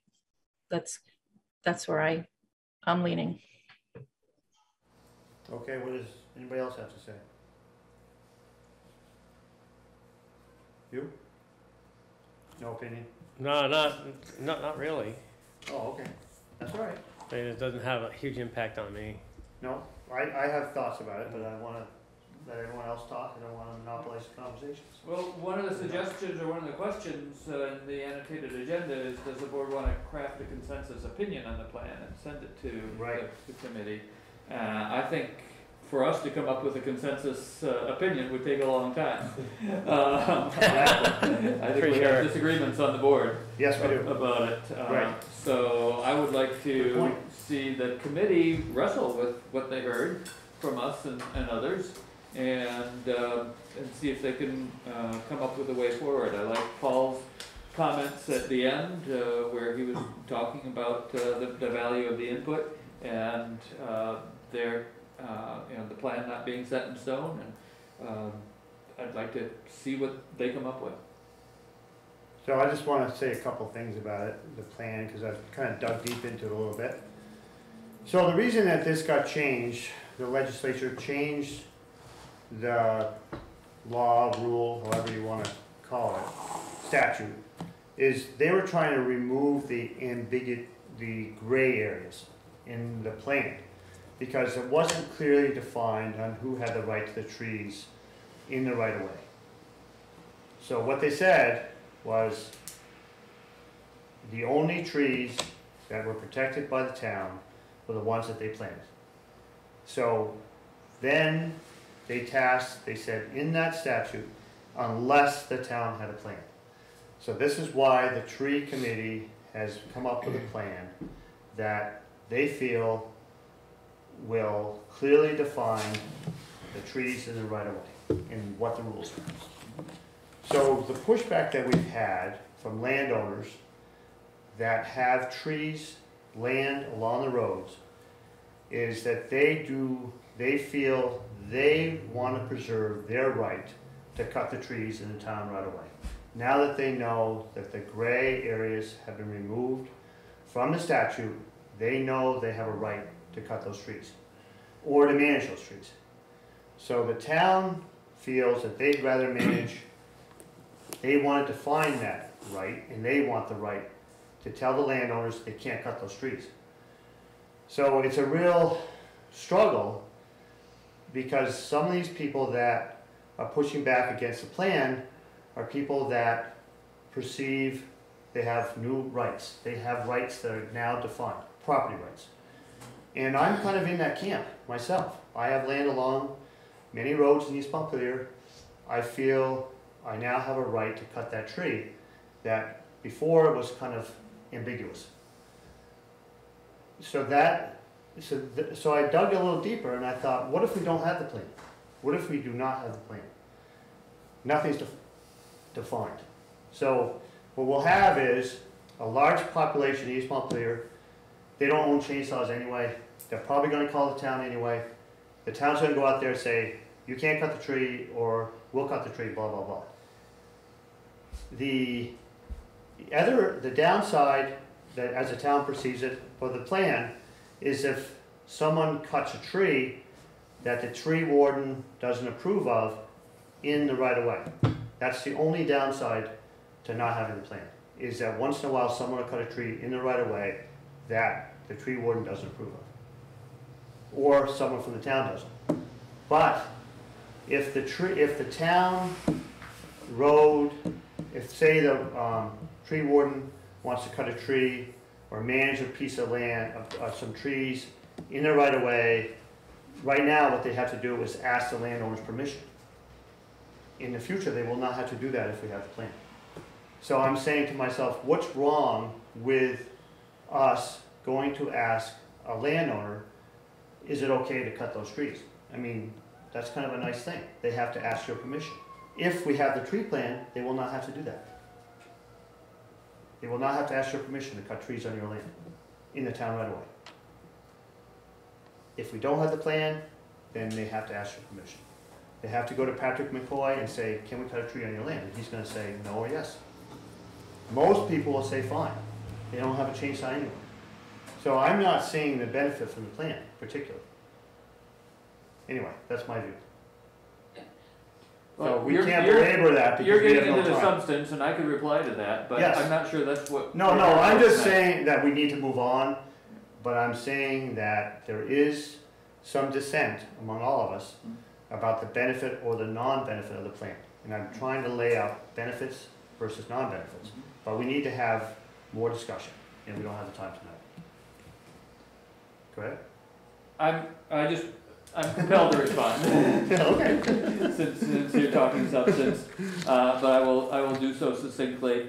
Uh, you, Seth, are focusing on the possibility that without the plan, that with the plan, the town would come and without a landowner's permission, Yes, down trees. I'm not sure we've heard anything about that happening in the past with the system with the tree warden in place.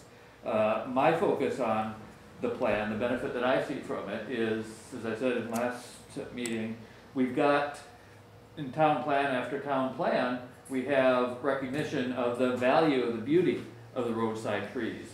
And without the plan, as I understand it, then the landowners would have the right to, I could come and I could clear cut those huge maples on Sparrow Farm Road that Mhm. are in the town right of way. Mhm. Uh, Bruce, that's, exactly. Bruce Chapel could Yep, uh, take that section of Center Road that's a and risk you take. cut everything down. Mhm. Uh, he won't do that, I won't do that, but somebody There you go. else might buy it.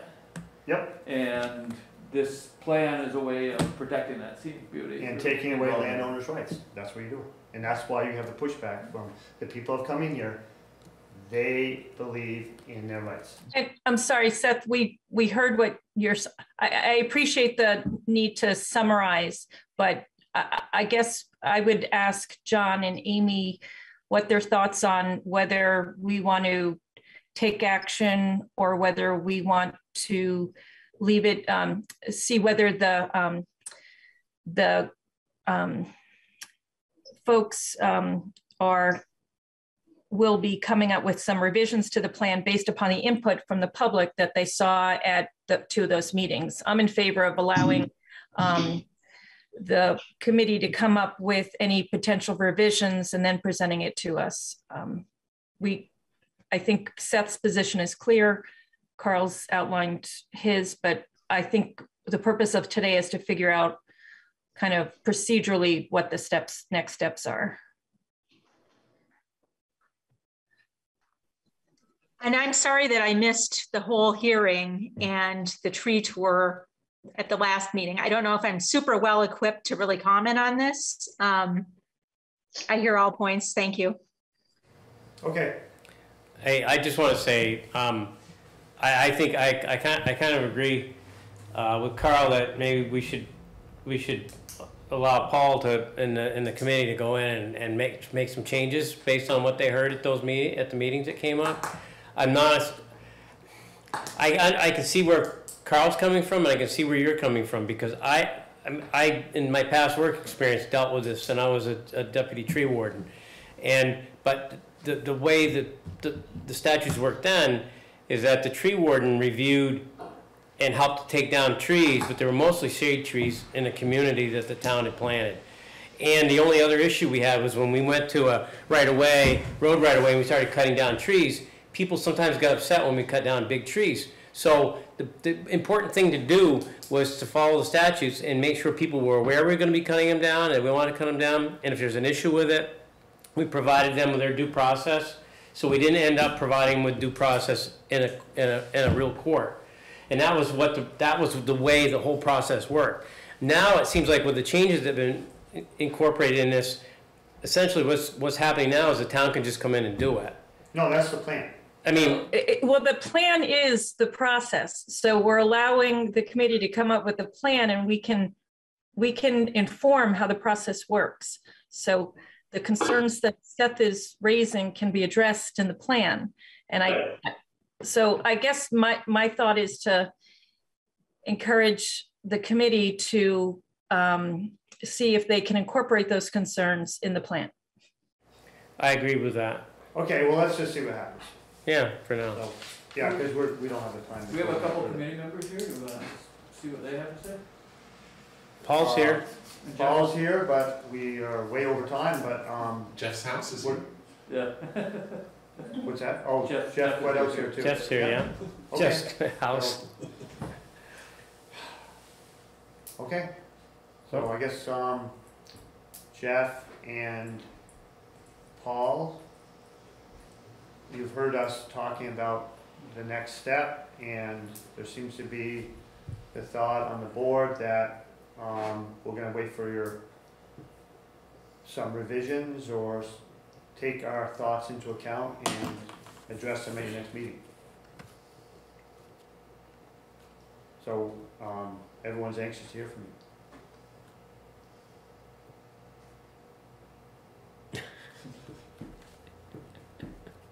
You're on mute. Somebody's muted, I guess. They're both muted, but their lips aren't moving. Fine. okay, I think Paul's trying to unmute himself. There's Paul. There we go. Oh, you were unmuted, but you remuted again. Paul. You did good. There you go. There you are. There you go. Don't touch anything. Yeah. Paul, you're all set. Okay, We well, can the hear you. first thing, the first thing I'd say is, uh, you don't, anybody in town here is welcome to come Saturday, uh, Thursday morning. If, if you want to hear what we're dealing with, but, uh, you know, we're going to talk with Michael and, uh, and, you know, I've, haven't called Seth yet, but uh, I guess he probably knows anyway. Uh, but I was going to talk to the other people who were at our last meeting and just let them know that we're doing this and and we're trying to get input so we can figure out a system that'll work. Uh, you know, and of course the the state complicated things a little bit, I guess. Uh, mixing and matching things so it doesn't you know we're trying to sort that out.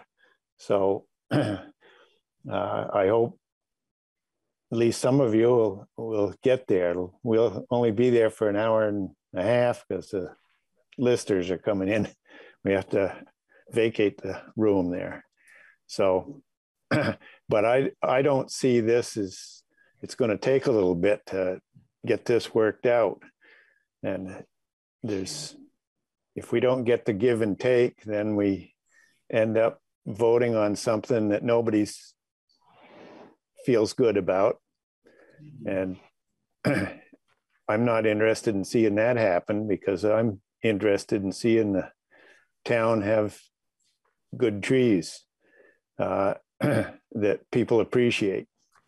So anyway i don't know if jeff has something he wants to say here but go to it.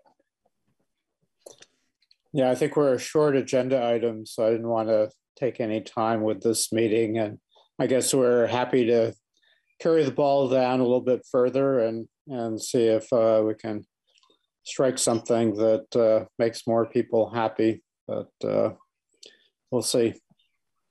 Yep. Well, thank you, guys. Thank you, yes. Thank you. I I don't want um, you to feel that I don't appreciate all the effort you put into this, because I do. I just know that certain people in town feel a certain way, and um, I, I feel that way myself in some ways too. I mean, I appreciate trees, but I also feel some feelings that we're treading on some people that feel that they have rights. And I'm nervous about taking away rights because we have a lot of rules and regulations that govern our lives every single day, and I'm not feeling that great about putting more, more rules in place. So, just want to say that, and good luck at your meeting. All right, well, we'll, we'll see you, I hope, on Thursday. You won't see me on Thursday. In- I'm trying to spread manure. Don't ever forget that What's that? Are a lot of other people in this town that may not agree with that. I know, that's true. So, It's true, it's, it's a, it's a push and pull. But when we start putting rules in place that govern everybody's lives, it is, there's a loss there also. So, there you go.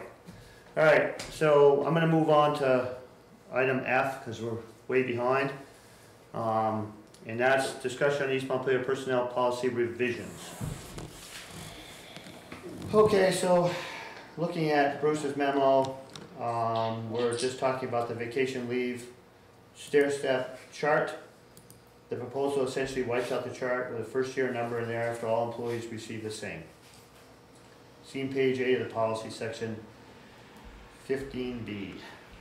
This is what we talked about at a previous meeting that Amy wasn't there for. We sensed it was important to Amy from her previous comments. And so we waited until she returned to take it up again. Okay.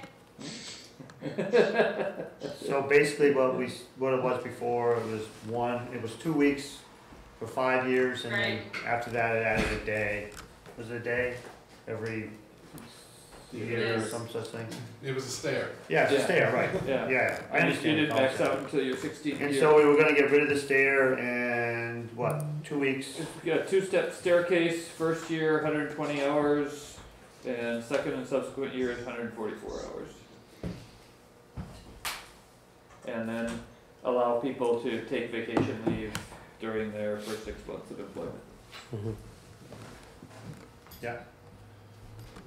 Sounds good to me? Yeah. Yeah. That's kind of bringing it up with, I think what the standard is now. I mean, people generally, when they start jobs, get at least three weeks now, so. Okay, So I move to revise the uh, personnel policy as stated, um, or as shown in the draft. What- What's a better way of phrasing that? As described in the draft, As presented, as presented in the draft, thank you. Good verb. okay. That's your motion? That's my motion. We have a second on that? Second. Uh, Amy, I saw her name, her, uh, hand first, so we'll go Amy in a second. And any further discussion? All those in favor, please say aye. Aye. Okay, so this is another one of those things that normally we all sign, you all sign. Uh, so when, when next you uh, are around, like at the sixteenth or whenever, uh, the updated version will be out and available to be signed. Okay, okay. Sounds good. All right, um, discussion on stipend for Green Bay Coordinator, Green Up Day, um, not Green Bay.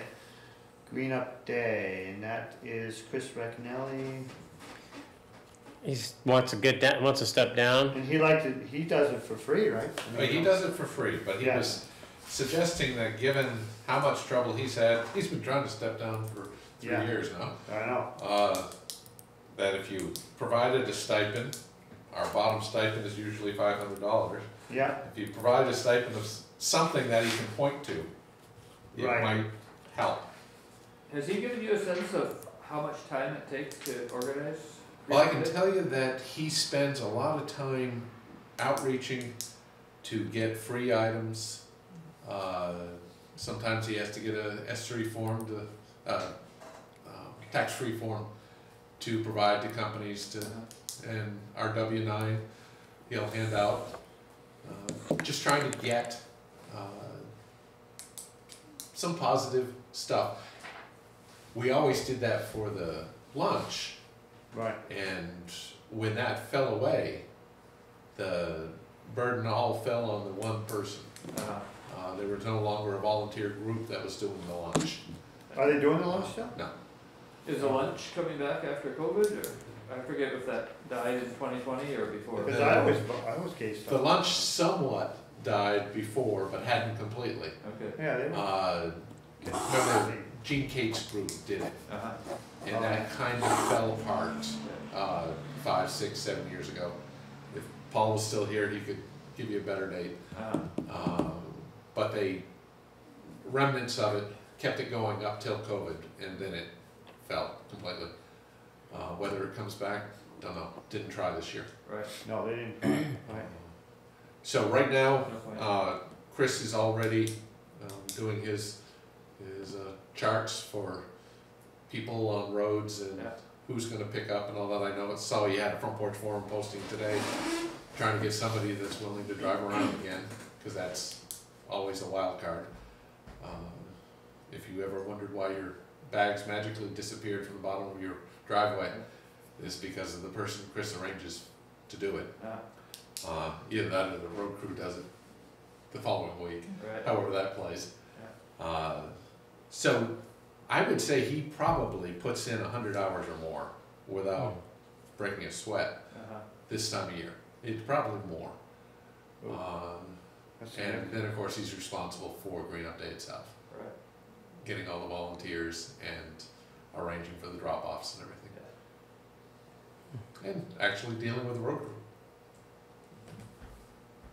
Well, it's a great Vermont tradition, and I just love to see everybody out there picking up stuff on the side of the road, and trailers full of tires that people have gone down into the woods where they've been tossed off of the, the road, and all sorts of things. It, it really helps beautify the town, and I don't know, five hundred dollars sounds like something that might entice some people.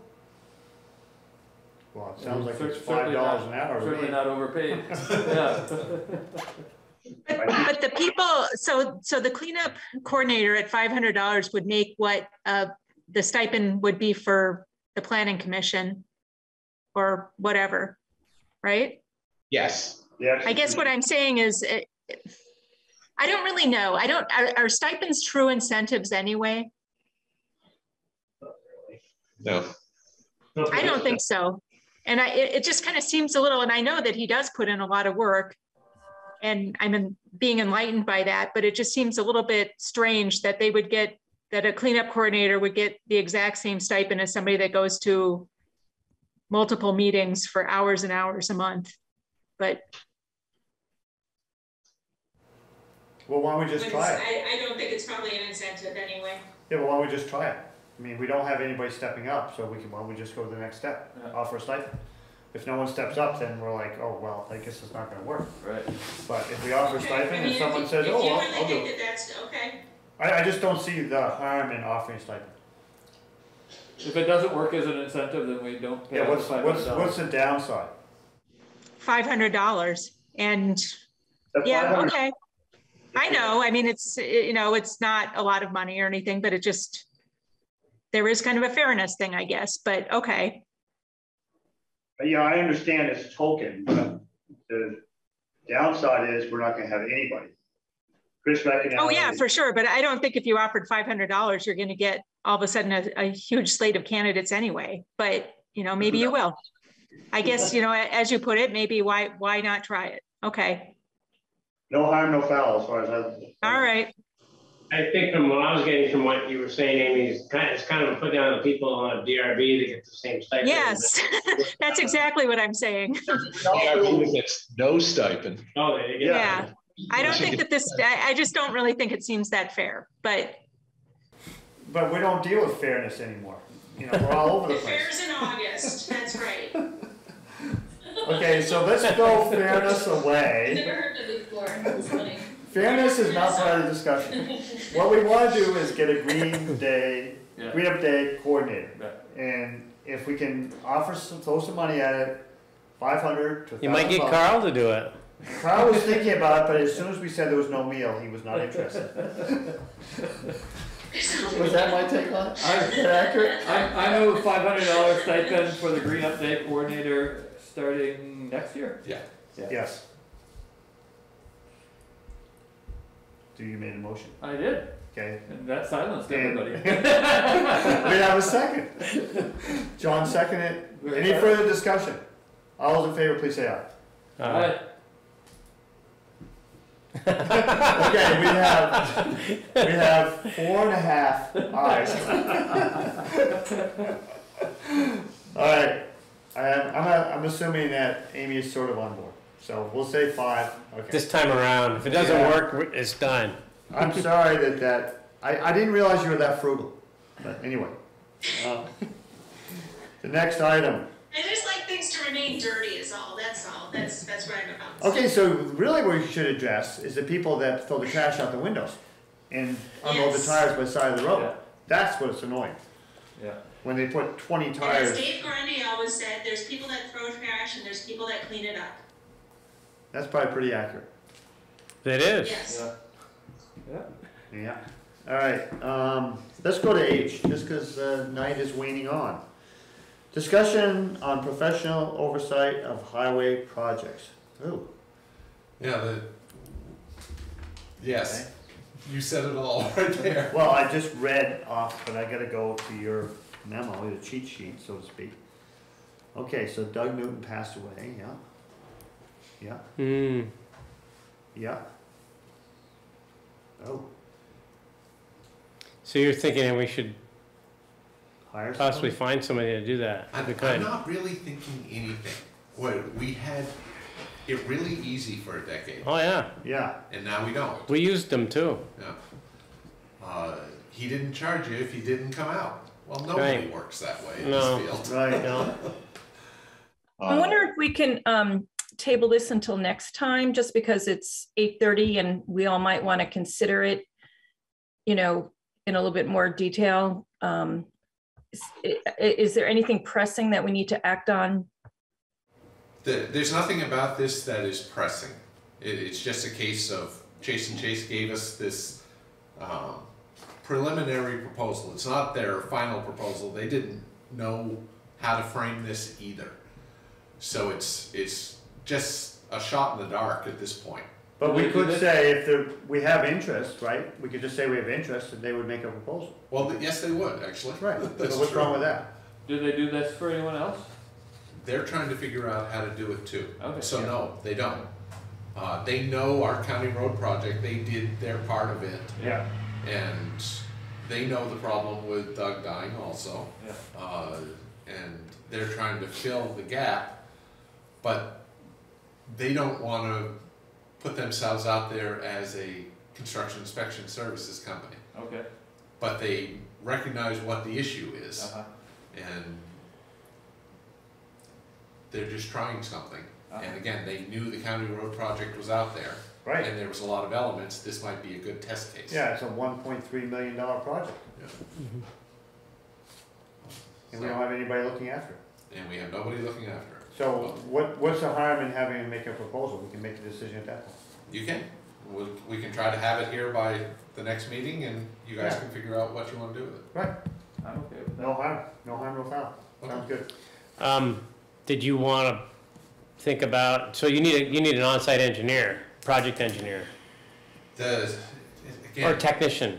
you, you just need somebody that will look at the concrete and say, ah, because Guthrie doesn't know how to do that. Do you want to think about the possibility of putting out a request for proposals? We already know what they're gonna come back with. A lot We more. Yeah, Some will, some might not, Like you know? Stantec is what you were talking about in your memo. That was pretty well, that's, expensive. we've, that's our one comparison that we've used recently. Yeah. They're not even around anymore, are they? Stantec, oh yeah. They were Du- Dufresne Henry, right? No, Stantec is Stantec. Stantec does Du- this. Dufresne Henry is, got bought up by somebody. I thought it was Stantec, but, They made, Stantec might have bought, them- bought them up, mhm. but no, they're still out of, um, South Burlington, like they were. Um, Anyway, there's a lot of engineering firms. There are, and we have a general price range for them, that ten to fifteen percent is, is pretty much, Ten Standard. percent of a million is a hundred thousand. yes, it is, So we're talking nine thousand. yes. Except we're Okay. really talking about the culvert projects. That's the You big thing. wouldn't have a oversight engineer for paving, You don't need it. right, Right, but the, cons- you're right, that the project for the culverts is a lot less. it's more like four hundred thousand. So, you know, ten percent, forty thousand bucks, So that's still a good, that's a pretty good deal, yeah. that's a lot of money. Go after Chase and Chase and see what they say. Well, that's what I'm But just thinking. see what they come up with. Yeah. The cost is not that much, and we should see what the proposal is. Yeah. Right, It may be that you want nothing to do with it, and it may be Right. Chase and Chase realizes this isn't making any sense either for their own people. Mhm. So, so in the proposal, they'll specify what they're going to do. Yeah. And how much it's gonna cost. Yeah. And that's important, because we have questions about a project like that. You can't just let it happen. Right. So they broke it out, but they're, they'll break it out more. Yes, Um, But again, Maybe the- a more detailed scope Yeah. of work would be helpful. you'll never get a, a Doug Newton again where they'll just show up when you need them. I understand. Yeah. That was ridiculously, and Okay. didn't charge you half what he should. Okay, so I think that we have, uh, I think we have a message that we would like the proposal. Okay. Okay. That's okay? Yeah, Okay. yeah. Do we know of any other retired folks from V-Trans? Trust me, we're reaching out, Yeah. but no, Yeah. Doug was kind of a one-off. Yeah, okay, Uh, the way he presented himself was kind of special. yeah, Mhm. okay. Okay, so how about I? You on board? We're done with H? I, discussion and agreement for town office cleaning services. Sixty bucks a week? We got off really cheap before, it sounds like, I didn't realize how cheap. How cheap was it before? Two fifteen a month. Yeah. That's really cheap. Oh, there it is. I, I was just trying to find Kennison's janitorial services and I couldn't find them. Um, and Because then I it's looked a- at. One-person shop. That's just her name that she Okay. uses, and she hasn't even, uh, registered it at all, that I could find. She lives out in Dave Rogers' old, um, office building apartment. Oh, the red building, Yeah. the, The- the big old house? Not, Going down. not the ones down below, but the, the first of the two coming back up the hill. The one Yeah. where his office was off to the side of it. Yeah, Hmm. Um, she worked for Mike Stone, the Dunright people, uh, and cleaned our office on multiple occasions over the years. Um, but she wasn't the only one, there were a couple others. And we reached out to the group of people that knew this place, and she was the one that was willing to take it on. And is, do, do they come every day? Or is it Uh, once, a- Weekend. Saturdays we usually. Yeah. Once a week. once a week? On the weekend. You know, that's probably not that much by today, you know, it's pretty competitive probably. No, that's good. That's actually, I think that still seems pretty cheap. I mean, we got off really cheap before and Yeah, that's pretty yeah. cheap now.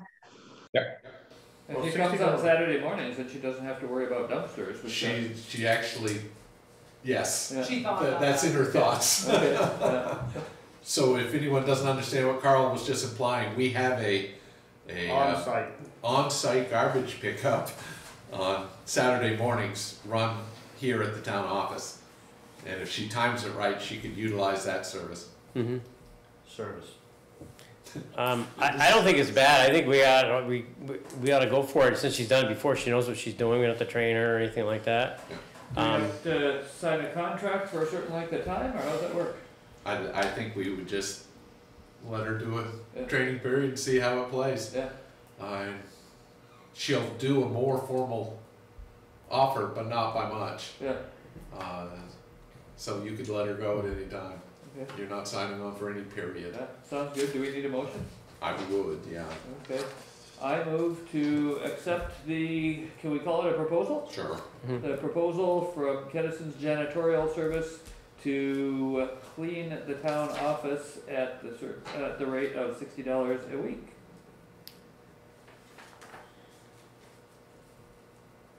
Second, Do Judith seconded that. We have any more discussion about cleaning town office? I don't see anything. All those in favor, please say aye. I, Alright, Aye. So just so you understand, she is insured, uh, so she's got that coverage. mm-hmm, And she's been here before. Yeah. She's a known quantity. yeah. we know The she's, price in- is reasonable. we know I she's in the country legally. Yeah, well, that doesn't always matter, but whatever. Um, As long as the work gets done. For Okay, town employment, I think it does. does it? Yeah, maybe so.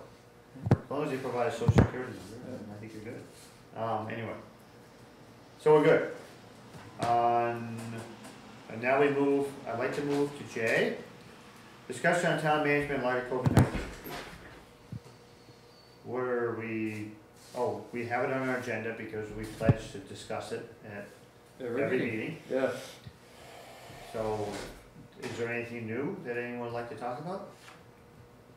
Well, I think Bruce has summed it up well. We are, uh, in Washington County, we're at, even with this new community level tool, which is more forgiving as it were, uh, than the old community transmission tool, we're at the high, the highest, uh, I know. measurement, um, and mu- much higher than most of the nation. Um, It's just odd. but- Well, it has to do with vaccination rates in this area. I think East Montpelier is a little bit lower than some other You think? counties, except for North, Northeast Kingdom. The Northeast Kingdom's low, the politics sway that way, swing that way. I was surprised, I think the last time I looked at it was a while ago, but I was kind of surprised that, that we weren't up in the seventy-five percent rate. Yeah, I just figured East Montpelier would be higher than everybody else. The numbers I thought they were. between the state and the CDC vastly differ, and I haven't gotten to the different, to why. Oh. A lot of it can have to do with the fact, remember, we're a town with six different town mailing address, Oh, yeah, and that always skews these kind of Oh, I- statistics. true. I'm, I'm looking at the county level. Oh, sorry, th- it- he- Yeah, no, I think John was commenting that East East Montpelier Montpelier. is out of whack. Yeah, I was looking at East Low Montpelier. vaccination rate. But what was the Washington County vaccination has a rate way low in- vaccination. It is, what is it? According to CDC, I, I can't tell you off the top of my head, but if Vermont is just round numbers, if Vermont is eighty-five percent, then Washington County is like fifty percent. yeah. Really? hmm It was really low, I was surprised. That's strange. But the state has it much higher. Yeah. And I couldn't, I, I thought, you know, orange or, Yes, you know, or Uh, Williamstown. yeah, yeah. Or, or just, you know, people I've talked to think that the CDC doesn't have the right numbers for Mm. Washington County. Mhm. And I've, I've never That's odd. gotten to the Yeah. bottom of that. Orleans, Caledonia, you know, I thought those, I thought, Caledonia was pretty high, I think. I was surprised. But Orleans was low, Well, yeah, Essex was low, yeah, Orange was low, yeah. Huh. And I was You kind think that the vac, the vaccination rates usually follow political lines, generally. All over the country. But in any case, we have, we have a spread that we have. Yeah. And we also have run out of the time that the legislature and the governor have given us to have mask mandates. Mhm. Uh, so that's not a tool that is realistically open to us. We could pass a new mask mandate if we want, send it on to the governor's office, and he would likely send it back to us and say, uh, no. Um, and probably, uh, we'd get a lot of blowback from people in town as well. Uh, we could require masks in the municipal office again. Uh, what are municipal staff saying about that? That's the most important constituency I, I see in the office. None of them are wearing them right now. Rosie was today. I spoke with her Oh, briefly about yeah, this. this- thank you, Yeah, yes. Rosie was today. I spoke with her briefly about this this morning, um, but then someone came in, so I never did get to talk to Denise again. Um, but, uh, you know, I basically just wa- asked Rosie to just let me know Uh-huh. if there's Hmm. a decrease of comfort of, Yeah. especially in particular the two that are front facing Yeah, with the public. Mhm. Um, that, you know, Yeah. if, if we need to address something, then please let me know. Rosie said right now, she was, she, her words were, we put a mask on when we feel that we need to. Okay. Yeah, So that's, right now, they're, com- they seem to be comfortable with that. Okay, okay, sounds good. okay, and Rosie's in the meeting, so she can type up if she has something to add. Yes, Rosie, pl- please feel free to chime in. I agree with what you just said. Um, Okay. I have various, various comfort levels depending upon what I'm doing or whether I'm going to visit my husband or not. Um, considering he's in a nursing home, I try to be as careful as I can. Yeah. But for the most part, you know, we, we request kindly that people stand in front of the acrylic shield. That's very helpful. Okay, And if you're sick, sick, stay home, Yes. because it's not always a cold anymore. Yep, Right. Yeah, a lot of people are getting COVID, actually, yeah. that I know, I'm not around them, but, it's like, oh, I'm not coming over, I get COVID, okay? Even the vaccinated, boosted and the whole deal, Yeah, definitely. it's playing out like the, for, for healthy individuals who are vaccinated, it's playing out like the, like, almost like a flu or a bit, or a nasty cold for like four Yeah. days. Yeah. All right, so it sounds like no changes, and we'll move to the next item. Um, we have the warrants. The expense warrant, I have these right here. they look fine to Um, me. I looked through, I only saw one, there was two warrants? No, it's just one. Yeah, Just one. yeah, there's, there's nothing special on it, really. You got gravel and tires. A few other things, Stormwater. yeah.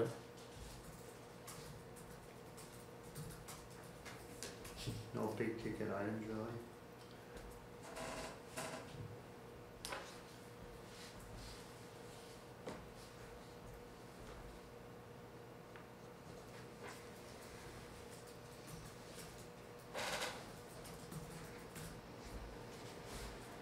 So what do you want us to do with it? Sign it, the three of you here.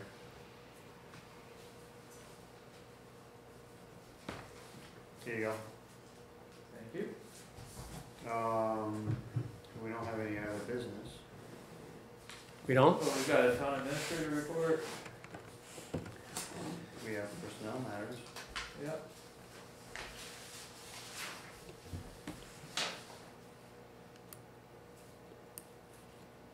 Oh, Dorner Road is, Yeah, just a reminder that yeah, it's set for five P M oh, great, on the sixteenth. great, ORCA has to bring their backpack and carry their camera on it. okay. Oh, Can we drive there, or? You can drive there, you can park, uh, you know, the, if you go Fitch Road Yes. to Dorner Road, there's that little slot to the side that is the road, that doesn't look like a road. You can park right there, Okay, just turn around on Kathy's driveway.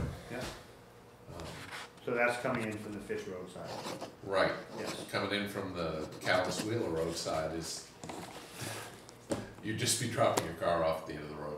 Yeah. Cause it just stops. yeah. what is that for? And I won't, I won't be at the meeting on the sixteenth.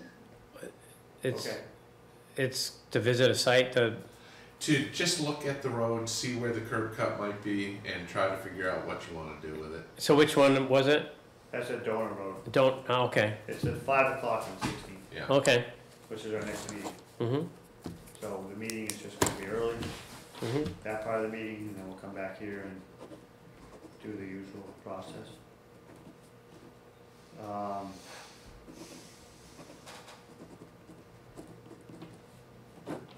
So Bruce, did you wanna go over your, Oh, the only other thing I have listed there is the ARPA funding, we did the, yeah, the checkoff, submitted the final report for that March Yeah. thirty-first reporting period, yeah, so that's all set. Okay.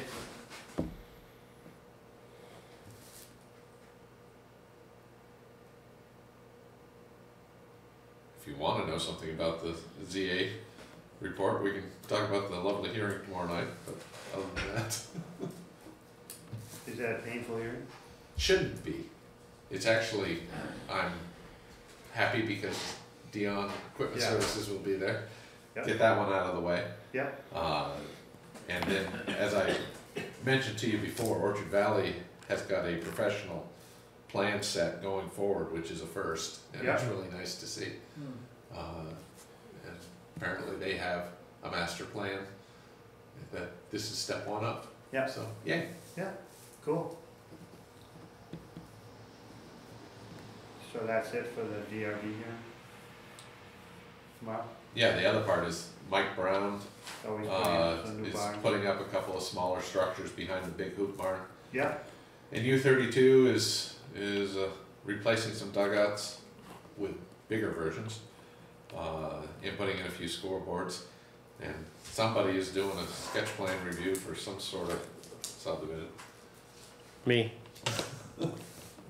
oh. Oh, we're planning a house right in the middle of a ten acre field. yeah. You know what, I hope there's pushback. Cause that should be illegal. Um, Alright, so we have, so we have personnel matters? We do. Okay. I move to go into executive session under one VSA, section three thirteen A three, to discuss personnel matters. I'll second that. All those in favor, please say aye. Aye. Aye. Guys appear to have it, they do have it. So we're going to executive session. Recording. Thank you. Recording stopped. Oh, David is trying to ask something. Sorry, let me turn it. Recording in progress. Uh, on the agenda, it, it mentions your discussion is about the transition of the zoning administrator and transition of the town administrator. And I'm, I'm wrestling with how that qualifies for executive session or how it qualifies for, you know, the, uh, you know, the portion of the law that you just cited. I mean, transition isn't the appointment, employment, or evaluation of a public official. Um, and personnel isn't a reason to go into executive session. There's a there are a bunch of personnel related reasons to go into executive session, but That's a good question. Um, I, I was responding to the suggestion on the uh, annotated agenda that there were issues uh, that would qualify for a uh, executive session. Uh, Bruce, you put that together? Yeah, are there issues? I, I don't know. I don't know.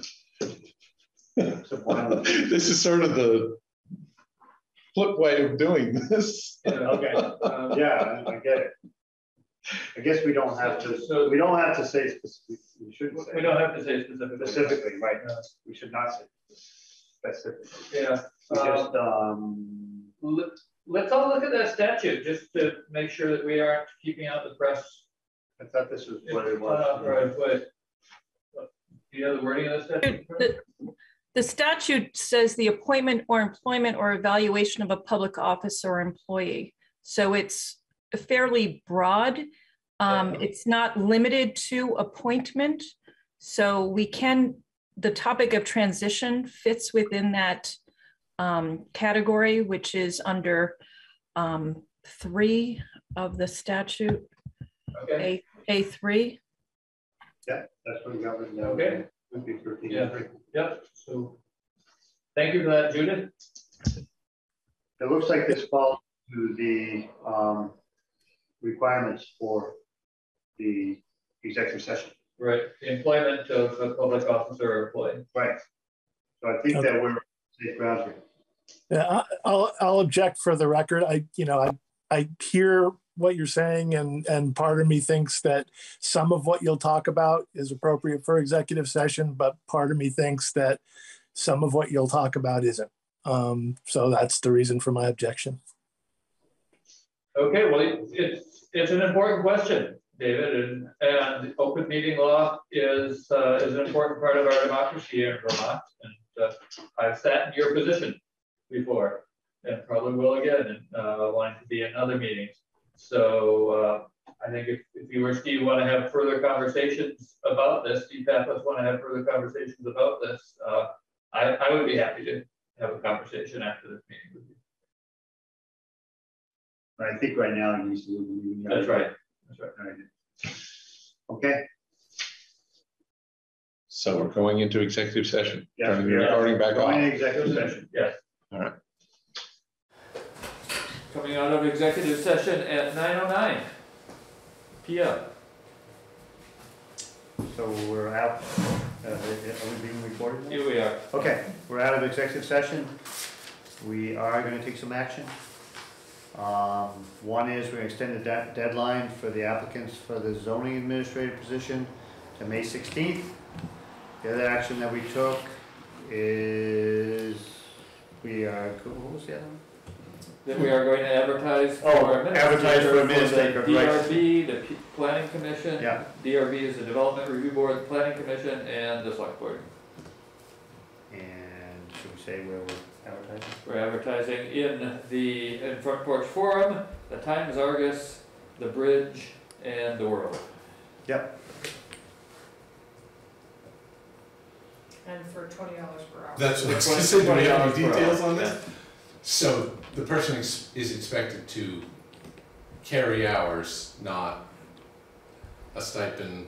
Correct. Okay. Correct. All right. Carry our Minutes? Carry, carry, uh, to charge hours. Charge hours, yeah. hourly rate, yeah. Yeah.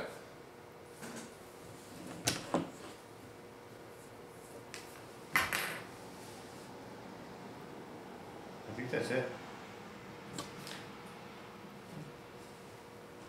I'd like to make a motion that we adjourn. We need a second on that. Amy seconded. Amy's making another motion. She's Oh, what's the other a motion? Just saying goodbye. Just saying goodbye. Any discussion on that? Any discussion on Amy saying goodbye and also? I think Judith wants us to keep meeting a little longer, right, Judith? You want longer? We can make that happen. No, yes, no. All those in favor, please say aye. Aye. We're adjourned. See you guys. Bye. Thank you for tuning in.